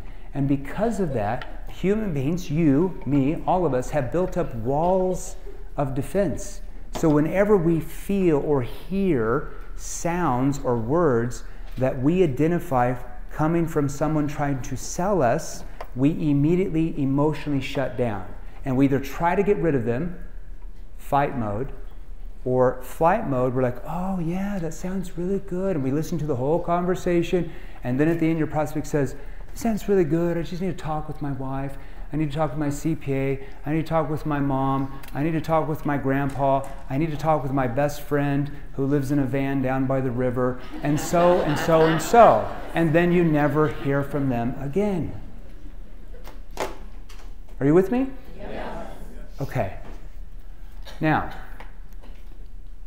so when you come across aggressive in your conversation, now when I say aggressive, I don't mean like you're mean. I mean like you're too excited now, that doesn't mean be boring. I don't mean like go from here to here. There's like a middle ground. Okay, so I don't mean be boring. Sometimes people are like, Jeremy, I'm trying out. I, we review calls and like, you sound really boring. What is going? Now, I don't mean be boring like, a, oh, I hope you try. But you, the more excited you sound, what is the average prospect going to associate excitement from? Salesperson trying to sell me something because that's how salespeople are taught to ask right? So when you come across needy, When you come across, when you have anxiety, you know what I'm talking about. You ever felt needy on a call with a prospect? Oh yeah. Now, if you feel that, what do you feel the prospect is feeling from you? They're subconsciously, they're listening to your tone. And when it sounds needy or anxiety or nervous, it triggers them to feel that you are hiding something or something is bad or not true that you're saying. See what I mean? Okay? When we come across attached, now what do I mean by attached? Oh, I'm so excited. I know you're going to love it. Can you call me back after you watch it today? I think it's going to be so great. Is that attached? Sounds attached. Sounds like you need them to join. And when somebody, it's like when you're dating originally and somebody starts texting you and they sound really needy in the text, and when you don't respond and they respond and they send you four, five, six texts because you never respond, how do you view them? Lower status. Even if you might have liked them and thought they were good looking, you start to view them at a lowered status because they feel needy to you. Wow. See what we're going? Okay, there you, uh, hopefully I'm helping your dating lives too. Okay? now, so that triggers them, like I said, to go into fight or flight mode. These are triggered reactions. Because did your prospect, do you think they woke up that morning that they were going to talk to you, that you had a scheduled appointment with them, let's say? Did they wake up and they're like, you know what? When she asked me that third question, because she sounds really needy and she sounds really enthusiastic, I think I'm going to go into fight or flight mode and say, hey, enough with the questions. Can you just tell me how much it's going to cost and I'll tell you if I'm interested? Does she plan that out? Or is that a triggered reaction based on how you're communicating to them? Yes. Ah, so if it's coming from us, that means what? That we can change that. And we have the power to change that. It doesn't come from them at all. See how we're where we're going? Now, once you learn what we're going to train you, this and this is just the start today. Once you learn how to become how you come across more neutral, more unbiased. Like I'm not not quite sure we could even help yet. I'd have to know more about XYZ. You're more neutral, you're more unbiased, you're more collective, you're more calm, you're assertive. Assertive does not mean overly enthusiastic. Assertive is more like an expert. More like an expert talks, more like an authority, a trusted authority. And especially when you come across detached. How many really successful experts are attached? They don't need to be attached, they're detached. They know that you have the problems and they have the solution to solve those, but it, has, it doesn't affect them if you don't do anything about it. It only affects who? Oh, you. See the difference there? Once we learn the right questions asked, once we learn tone, it triggers their brain to become curious enough where they want to engage and actually open up to you because they feel like you might have something important for them. They don't even know what it is yet. And I'll give you an example of this. Let's say that you're walking into the grocery store, okay? I'm just going to take a little bit more time if this is okay. I'm going to go over the keynote time. I know I have 20 minutes. I'm going to go like 35. So, well, we're going to come back. It's all the same. If I, if I only had 30 minutes, I'd hurry up. But I'm going to give you a few examples. So, let's say you're walking into a grocery store, and all of a sudden you hear like a lady yelling, like screaming. Your first reaction, remember, I'm going back to the brain, is your survival part of your brain is like this. You react to the sound, to the tone. You react. Am I safe? What's going on? Is there, you know, a shooting? Like, what's happening? So you react. You didn't even hear her words yet. Okay? That's in your survival part of your brain. Now, instantly, in about a second or so, I'm going to keep this term very simple for you. It goes into what we would call their midbrain. The midbrain starts to interpret the words from that lady. And then immediately it goes to your problem solving part of your brain, which is your neocortex. And your problem solving brain says, like, oh, it's just a lady yelling at her son to, to be careful crossing the street. I'm okay. But you instantly reacted from the tone first going through your survival brain before you interpreted her words to mean that you're okay. Does that make sense?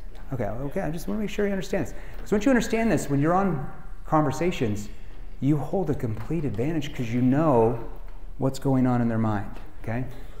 Closest thing you can become to becoming a mind reader. All right, now I'm going to ask you this How do you get your prospect to view you at a higher status? Because, like I said earlier, how are salespeople and, dare I say, distributors in network marketing viewed in society as a whole? if I'm really honest, how are they viewed? Lower status. Even if you are a millionaire or multimillionaire in this industry, the average person still views you at a what? A lowered status based on what? Because of the way typically people in this industry and salespeople in general communicate with other people. That is caused by us, not them. Okay? Now, I'm going to ask you again. If I show you some questions you are asking right now, which you feel are building rapport, but are really not, are you going to be upset at me on Monday? Because when you get on calls, you're going to be like, oh, I shouldn't say that. Okay, so are we, are we okay to move forward? or Because I can, we can stop everything now. Okay, all right. Okay. All right. Now, in behavioral science, this is called social dynamics. How does society view you? How does a person view you at a much higher status than themselves in the conversation you're talking about? So, even if you're talking to someone that makes 25 billion times more money than you, and you're talking about your opportunity, how can you, even though they make way more money than you, how can you get them to view you at a much higher status with what you're talking about? That's called situational status. It's called rank framing or status framing. Back in medieval times or thousands of years ago, how did they rank a human being? Usually it was the tattoos and symbols on your arms. That's how they ranked you, right? Or if you're a queen or queen, like that's how you're ranked. How does society rank us now? Usually by how much money you make, the things you drive, the cars you have. Well, just that's how they rank. That's how they view you. Okay. So if you don't have those things yet, notice I said yet. How do you get situational status where they view you as an expert, far more as an expert in what you're talking about? That's what I'm going to show you. Okay. Now, I don't know if I should show you this. I'm a little bit worried. So when you get on, do some of you like get on Zoom with prospects or call them on the phone after? Because I know a lot of you like get them in the DMs, right? Or or you talk with somebody that you might know. You get them on Zoom, you get them on the phone, and typically you ask this type of predictable question. Hey, how are you doing today? Hey, how's your day going, George? Yeah, how's the weather over there in Dallas? Oh, yeah, the weather's so cool here. It's so awesome. Um, yeah, did you watch the game last night? Oh, it's such a cool game. Yeah, so awesome. Um, see, when you ask these type of predictable questions, that every salesperson that's ever tried to sell them anything from a vacuum cleaner to a car to life insurance policy to a home to maybe cybersecurity for their office, and they're all asking the same type of question what would the average prospect immediately associate you with? Like everybody else. And a society, and if they view salespeople at a lowered status, how do they view you if you're asking the same questions that all other salespeople ask them? More than likely at a much lower status, unless they're lay down. Lay downs, they'll open up to you, okay? Because with most prospects, this is how they interpret that type of question. How's your day going? How you doing? Those type of ridiculous questions. Here's how they view it. I'm just trying to get you to like me so I can sell you my product, my service thing. Because when salespeople ask you that question, what usually goes on in your mind? Could I be right? They're just trying to get me to like them so they can sell me something. And immediately what? The, what goes up? The guard goes up, and do you ever notice that when you do that, the guard goes up and you ask good questions, but they give you vague, generalized, surface level answers? Well, now you know why, because you're triggering that from the very first words out of your mouth. Okay? Now, don't worry. I'm here to show you how to change that. I'm not just going to show you what to do that's bad, I'm going to show you what to do instead. Okay? All right. Now, this is an example of what we call NEPQ connection questions. Now, connection questions uh, basically they, they get the prospect, they take the focus off you immediately and they automatically put it on the prospect. And what they also do is we want to get the prospect into what we call results based thinking over price or cost based thinking. Do some of you ever get like, oh, this seems really expensive, or you guys, is that just way too much money for me, or I don't have the money? Do you know why? It's because you're getting them, you're keeping them in price or cost based thinking, where I'm going to show you how to get them into results based thinking, where they don't even look at the price, they look at the end result.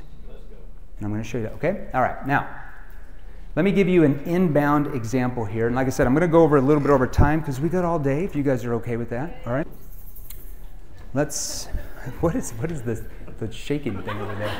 Who is that over there? Oh, what is that? I'm not used to that at keynotes. I'm like, man, this this group is really lively. They're shaking things over there. Okay.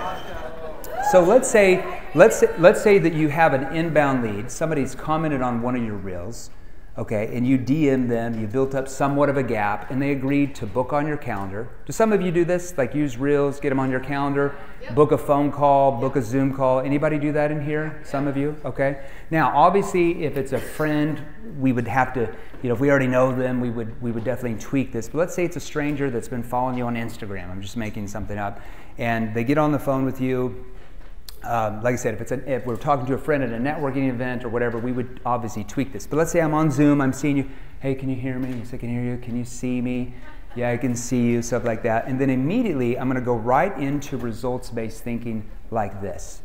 Okay, so it looks like we were, I know we were chatting on uh, Instagram the other day about you looking at maybe, you know, starting your own business so you could make more money, right?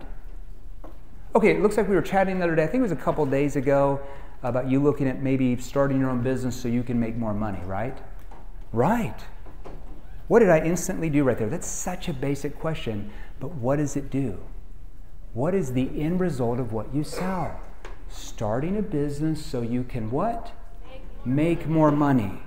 Do you see how I'm automatically getting that person into what? Results based thinking by saying starting your own business so you can make more money, right? They're gonna be like, right automatically results based thinking. That's just the very beginning. See how base, see how easy that is? Okay. Take a picture of that. Like I said, we've got I have all the sales structure written out for you already. I shouldn't have told you that, but we're going to train on that. and maybe maybe Colton and those guys will give it to you one day. Okay. Now, let me show you a few things that I did here. Why would I use the word possibly start your own business? Yes. I want to be more neutral. Okay, because if I assumed, look how it sounds.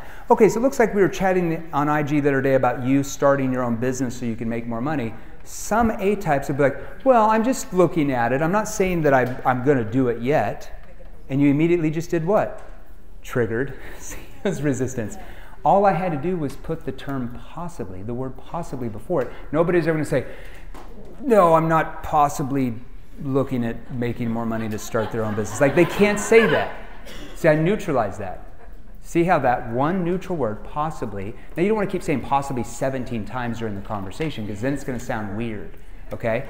But that term neutralizes it where you'll never trigger sales resistance just by putting a neutral term there. See how I want to use words that what? Work with human behavior rather than work against it. See how one word can completely change the dynamic of that opening conversation because if you trigger sales resistance right there, status goes what? Down. Lower, and now the rest of the conversation, you have to like, go trying to get back up to at least the same status as them. See, I want to make sure that when I come into a conversation, even in that first 30 seconds, they view me at least at the same status as they are. And during that conversation, I start to raise my status in their mind, and by the end, they view me as the authority, the expert who's going to get them where they want to be. See what I just did there? Okay, let's keep going on here. All right, now this is an example. I'm just giving you a few random examples, and then we're going to give you everything when we actually do the training. This is called an NEPQ status frame. Okay, so I want, has anybody ever had training where they talk to you about getting on a call and they want you to do like what's called like an upfront contract? Where, has anybody ever heard the upfront contract? So, and it's not bad, but sometimes it can trigger sales resistance. So, has anybody ever gotten on a call like, okay, towards the end of the call, you know, I'm gonna, here's how the call is gonna go. So you tell them, here's how the call is gonna go today. I'm gonna ask you some questions, and depending on your answers, at the end of the conversation, you, you know, you can decide if we're a good fit for you, and we can decide if you're a good fit for us. Sound fair? You ever heard of that? Yes. Oh. Do we really believe that the average prospect thinks at the end of the conversation, if they're like, here's my credit card, I am ready to sign up and buy and change my life? Nope, nope. I don't think you're a good fit for us. I can't take your money. I'm so sorry, you're not a good fit for us. You really believe your prospects would believe that? So when you say things like that that they don't believe, what does that do? Lower status, you lose trust, sales pretty much over. Or if a lot of people are like, yeah, that sounds fair, and then what are they doing in the background? Stay surface level now because they think they're going to get closed at the end, right? So when you ask questions, they never what? Emotionally open up. They stay surface level. They stay logical. And then what objections do you get at the end?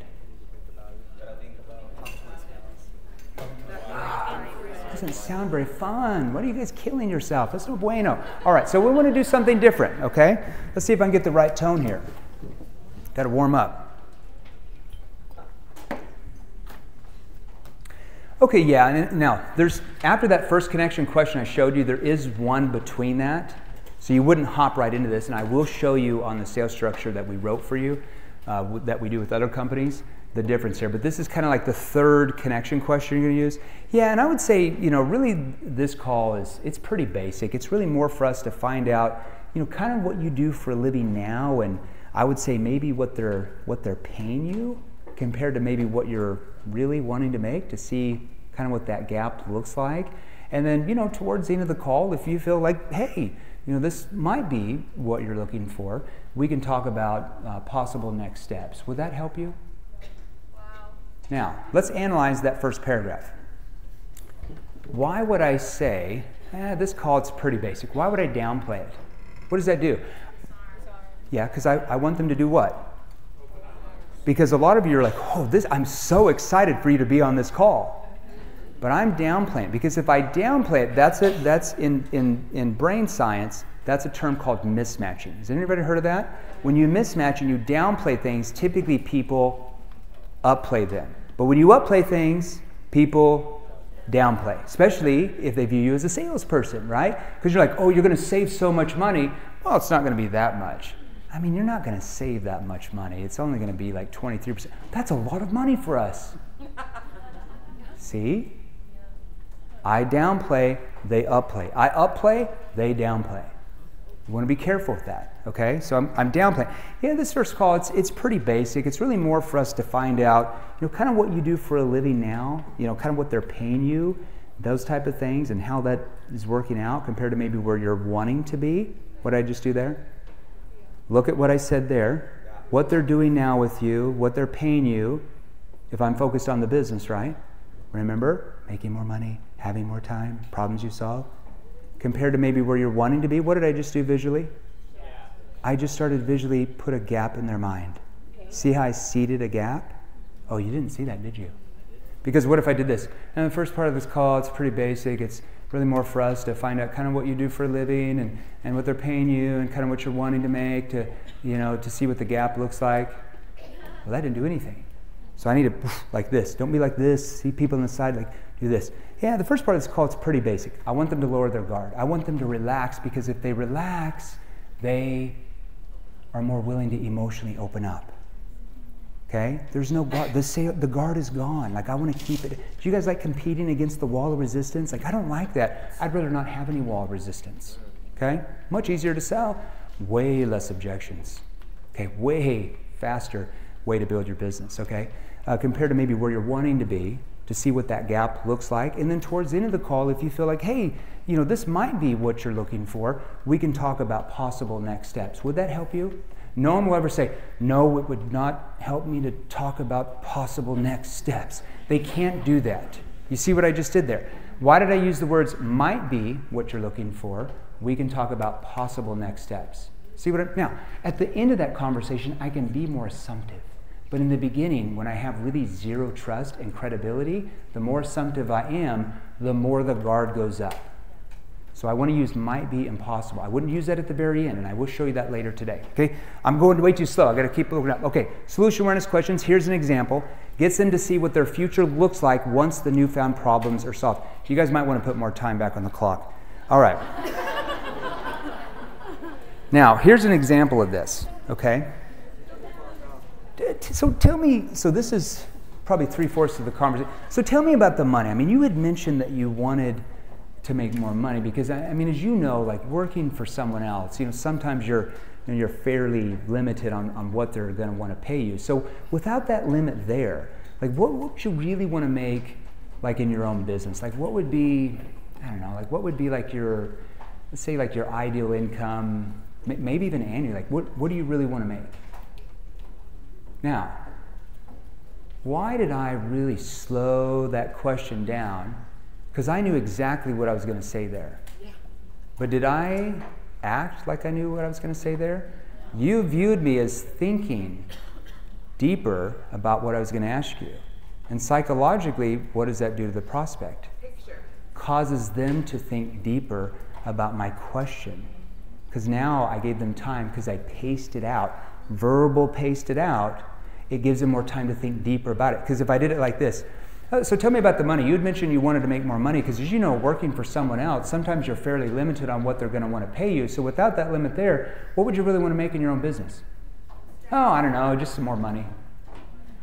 Need your question, asked too fast, no time for them to internalize what I'm asking, surface level response. But because I paced it out, they did what? Hang on to every word and question I'm asking I'm causing their brain to do that.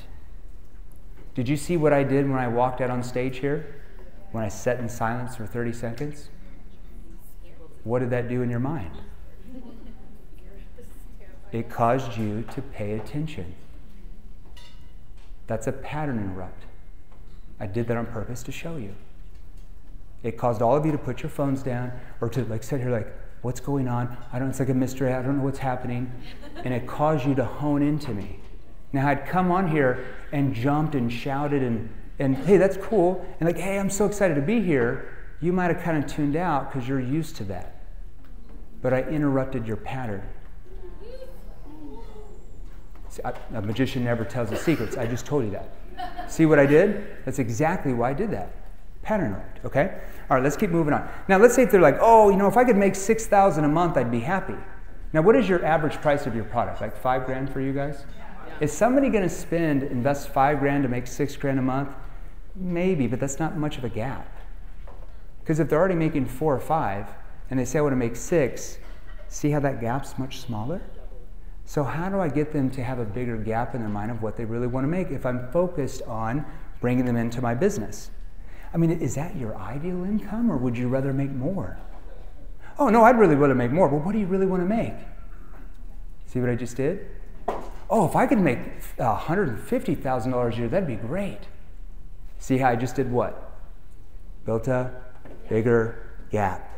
The bigger the gap, the more likely they are to take more funds to invest with you. The smaller the gap, the more money objections you are guaranteed to get. You see the difference there? All right, I'm going to show you more of this when we get through the training. All right.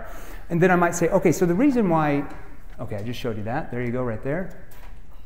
Okay, well, the reason why I asked you that is I, I really only work, you know, look for someone who wants to make, I don't know, I mean, at least a $100,000 a year. I mean, are you, are you open to making that type of money in your life? Oh, yeah, for sure. But what do you really want to make?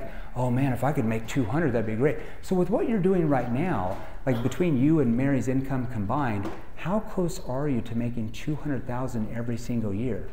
Oh, yeah, we're about halfway there. So if you stay in that job, just be completely real with me. How many years would it take you before you yourself were making 200,000 every single year just yourself? There's no way I could do that. What did I just do? Build a huge gap, and he just he or she just said, if I stay with what I do, there's no way I can get to what I said I just wanted. Who's persuading who? they're persuading themselves. See how I'm doing that? Now I'm going to show you a lot more. Don't worry. I'm just giving you a little warm up here. All right? Giving you a little warm up. All right, consequence questions. Oh, maybe. Yes. Right there? Now, this is all going to be on your sales structure, just so you know. Way more than this. I just gave you a little hint here. Just getting you a little bit excited internally before we get into the real training. Because you're going to need to know everything to say before this and after. And you're going to need to know how to react if it doesn't go your way, because it doesn't necessarily go this way 100% of the time. Unless you want to sound like a scripted robot, which I definitely would not encourage that, because they will emotionally shut down if they sound like if you sound like a robot. Okay. Got it? Be a lot more. Okay, consequence questions. Helps the prospect see what the consequences are if they don't do anything about solving their problem. Okay? Now, let's take a look at this.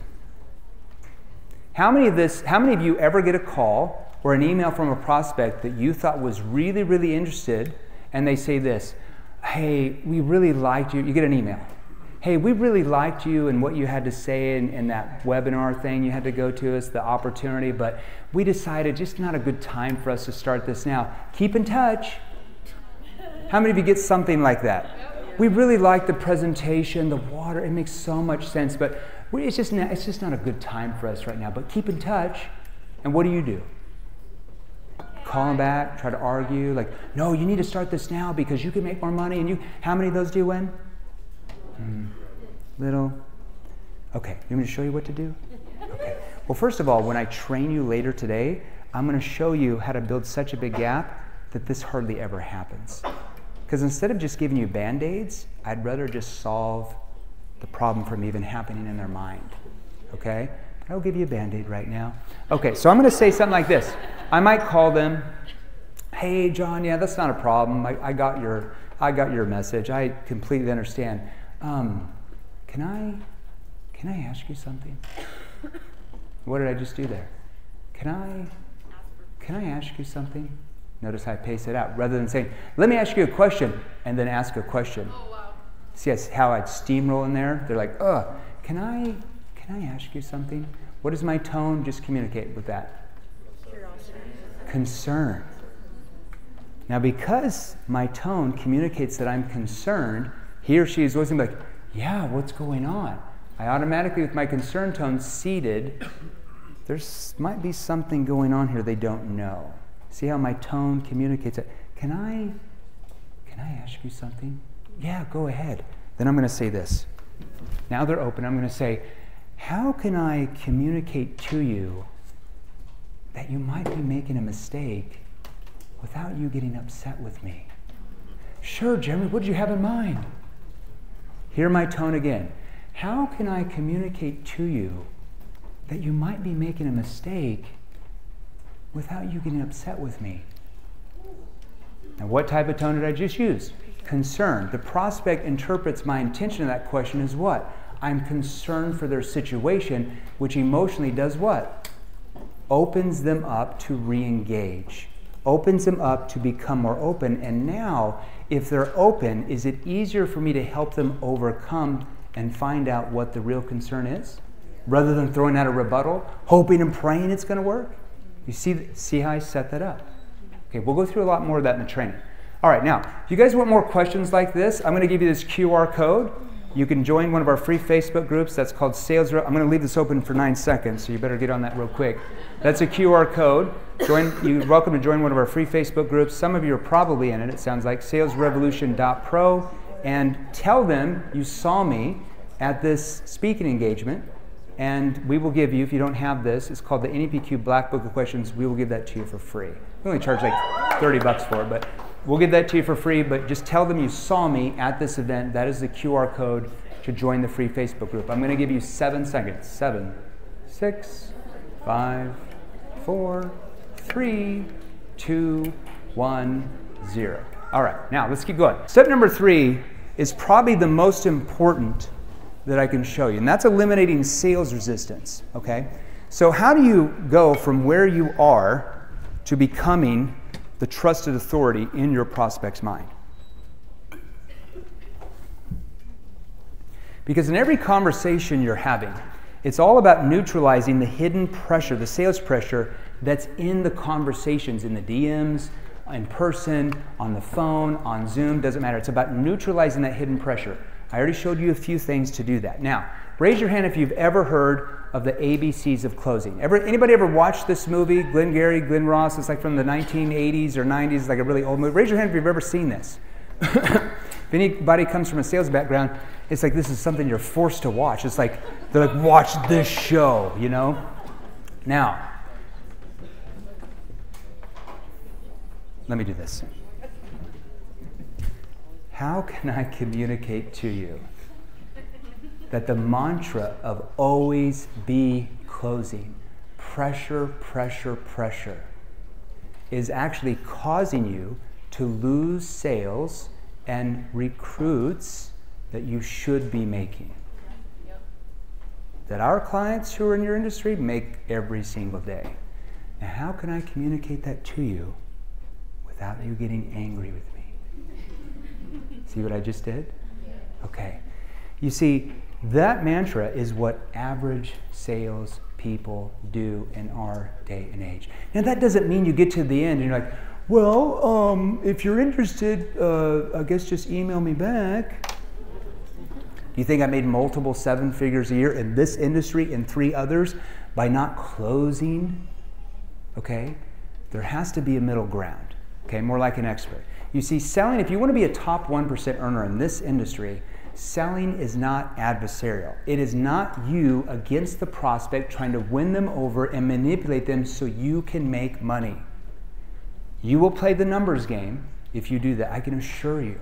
Okay? Selling is collaborative. It's you working with the prospect to help them find and solve problems to get where they want to go. Now, Here's what we're going to focus instead on later today. We're going to learn the ABDs of selling. That stands for always be disarming. From the very first words out of your mouth to the questions you ask and how you use your tone, we're continually getting our prospects to let their guard down and keep their guard down. Because when you learn how to detach yourself from the sale, now that doesn't mean you're not trying to get the sale. But you want to keep that internally. You want to keep it to yourself, right? Because the moment you go external with you trying to close the deal, the prospect does what? They feel it. They feel the attachment. Their guard goes up, and now you're competing against the wall of resistance. So, if we want them to keep their guard down, we have to detach ourselves. And when you do that, what happens psychologically is you remove the sales pressure from that conversation where the prospect feels it is a natural conversation. Now, it is not a natural winging it conversation, talking about the weather and who won the game and BS. It is a very skilled conversation. And the prospect doesn't know what's going on, but they emotionally open up because of your skill level. Now, remember when I asked some of you, like I pretended to be like a network marketer, and I'm like, hey, you know, why should I switch to your company? I've got a good comp plan. Remember the three people that I had come up here to do that? Yeah. Do you want me to show you what I would do if somebody said that? Okay, because I had a lot of people that would do that when I was in network marketing. I'm like, I need to develop something to get them to let their guard down. So I'm going to show you how to do this. Now, what do most distributors do? Does this sound familiar? Why should I go with you? Oh, well, I mean, you should go with us because we're the number one company in the industry. We have the best products. Our founders have the most integrity. We've been around for a long time. We've got the best comp plan. Our company is a triple A rated the BBB. Our products are the safest. We have the best this, we have the best this. Wah, wah, wah, wah, wah, wah, wah. So instead of telling them and trying to sell them on why you're the best, why not try finding out why they even asked you the question in the first place? What is behind the question? See where we're going with this? So when the prospect says this, let's get them to let their guard down. Okay? Now, do we know we can help them? Yes. Do they know we can help them within the first 30 seconds of a conversation? We have zero trust and zero credibility? No. So, what is my first job? To admit that I might not be able to help them. Which some of you are like, no, Jeremy, oh my God, you're going to lose a sale if you admit that. Now, I know by the end of that conversation, I'm going to start building such a big gap because I've got them to let their guard down that by the end, they're going to tell me why the comp plan, why the company, why my opportunity is way better for them than what they said 20 minutes ago sucked. Okay? Okay, so let me show you. Now, here's what I'm going to have you do. All right, who, who did I use? Who was the. Can I have one of the three that I brought up on stage come back up here, real quick? One of the three that I brought up on stage, who was it? one of the three.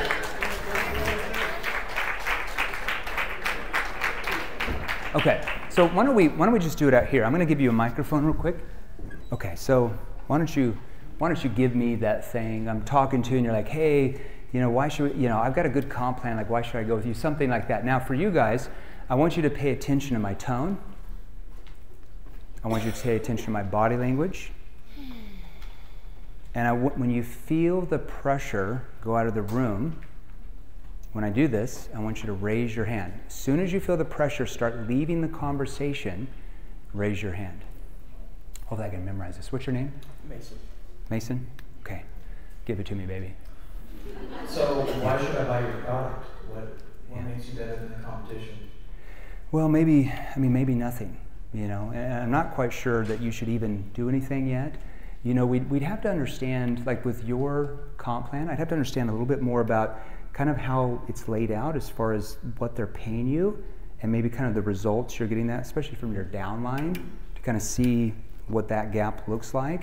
Um, I would say just to see if we even help, because I mean, you might even be better off just staying with who you already have. Are you with me on that? Yeah. Something like that. Now let's do that again. I'm going to do a different angle. Okay, say say uh, instead of saying about the product, say, um, well, why should we go with your company? I'm pretty happy with wh- who I have. Why should we go with your company? I'm pretty happy yeah. where I'm at. Uh, well, I mean, just so you know, I'm not quite sure you should yet. You know, we, would have to understand more about kind of what you're doing with the company as far as the comp plan and kind of what they're kind of what they're paying you compared to maybe where you're wanting that to be, um, because you might be better off staying with who you already have. Are you maybe a, opposed to having a brief conversation around it? No. Okay, all right, now what did I do there? Tone's a little bit off. Why would I say, well, I'm not quite sure that you should yet? Why would I say that? What does that do? Now, notice how I paused about two seconds. Why would I pause? Why not say, well, I'm not quite sure that you should yet. I'd have to understand more about the comp plan you have with them. Shows your thinking. Yeah, it's like a script.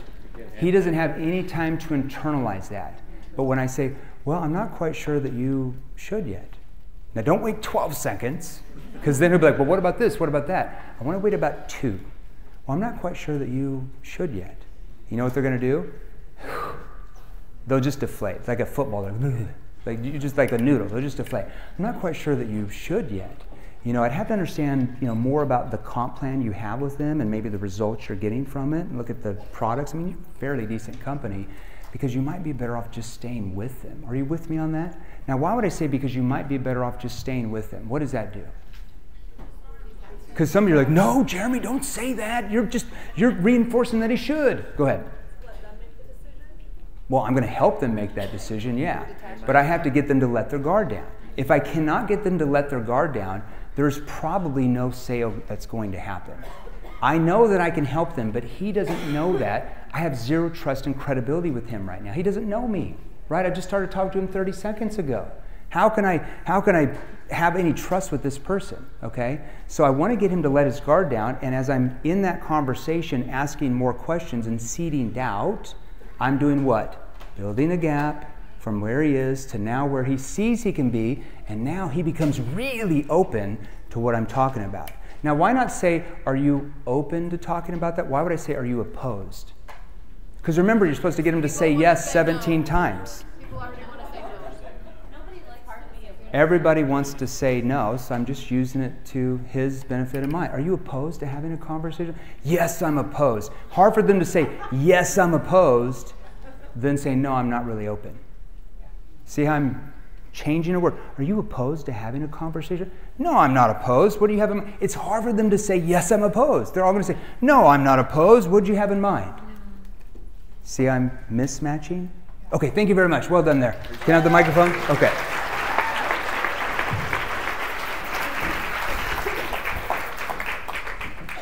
All right, a couple last things, then we're going to wrap up before the training. All right, anybody, raise your hand if you ever get an A type personality, hard to open up, surface level, cards to their chest, poker face, no emotion. You know they have problems, but they're just staying surface level. And then what objections do you get at the end? You need to think about it. Research, more information, talk to my spouse, talk to my CPA. I need to talk with my mom to see if it's a good investment. I need to talk with my uncle in Georgia about what? Okay? Okay. Now, here's the technique to use. So, let's say I'm three fourths in the conversation. I can't get them to open up. This is like my last thing I can do. Um, Mary, can I, can I ask you something? Sure, go ahead.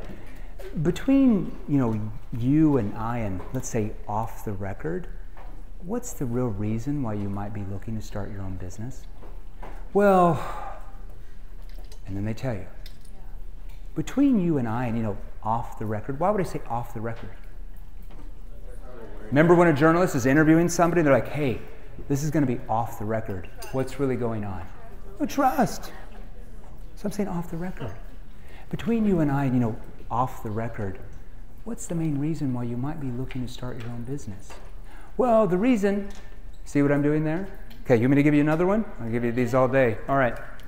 Let's say you don't know how to help them overcome the I want to think it over objection, which is actually not an objection. We'll talk about that later. But let's say you don't know what to do yet, okay?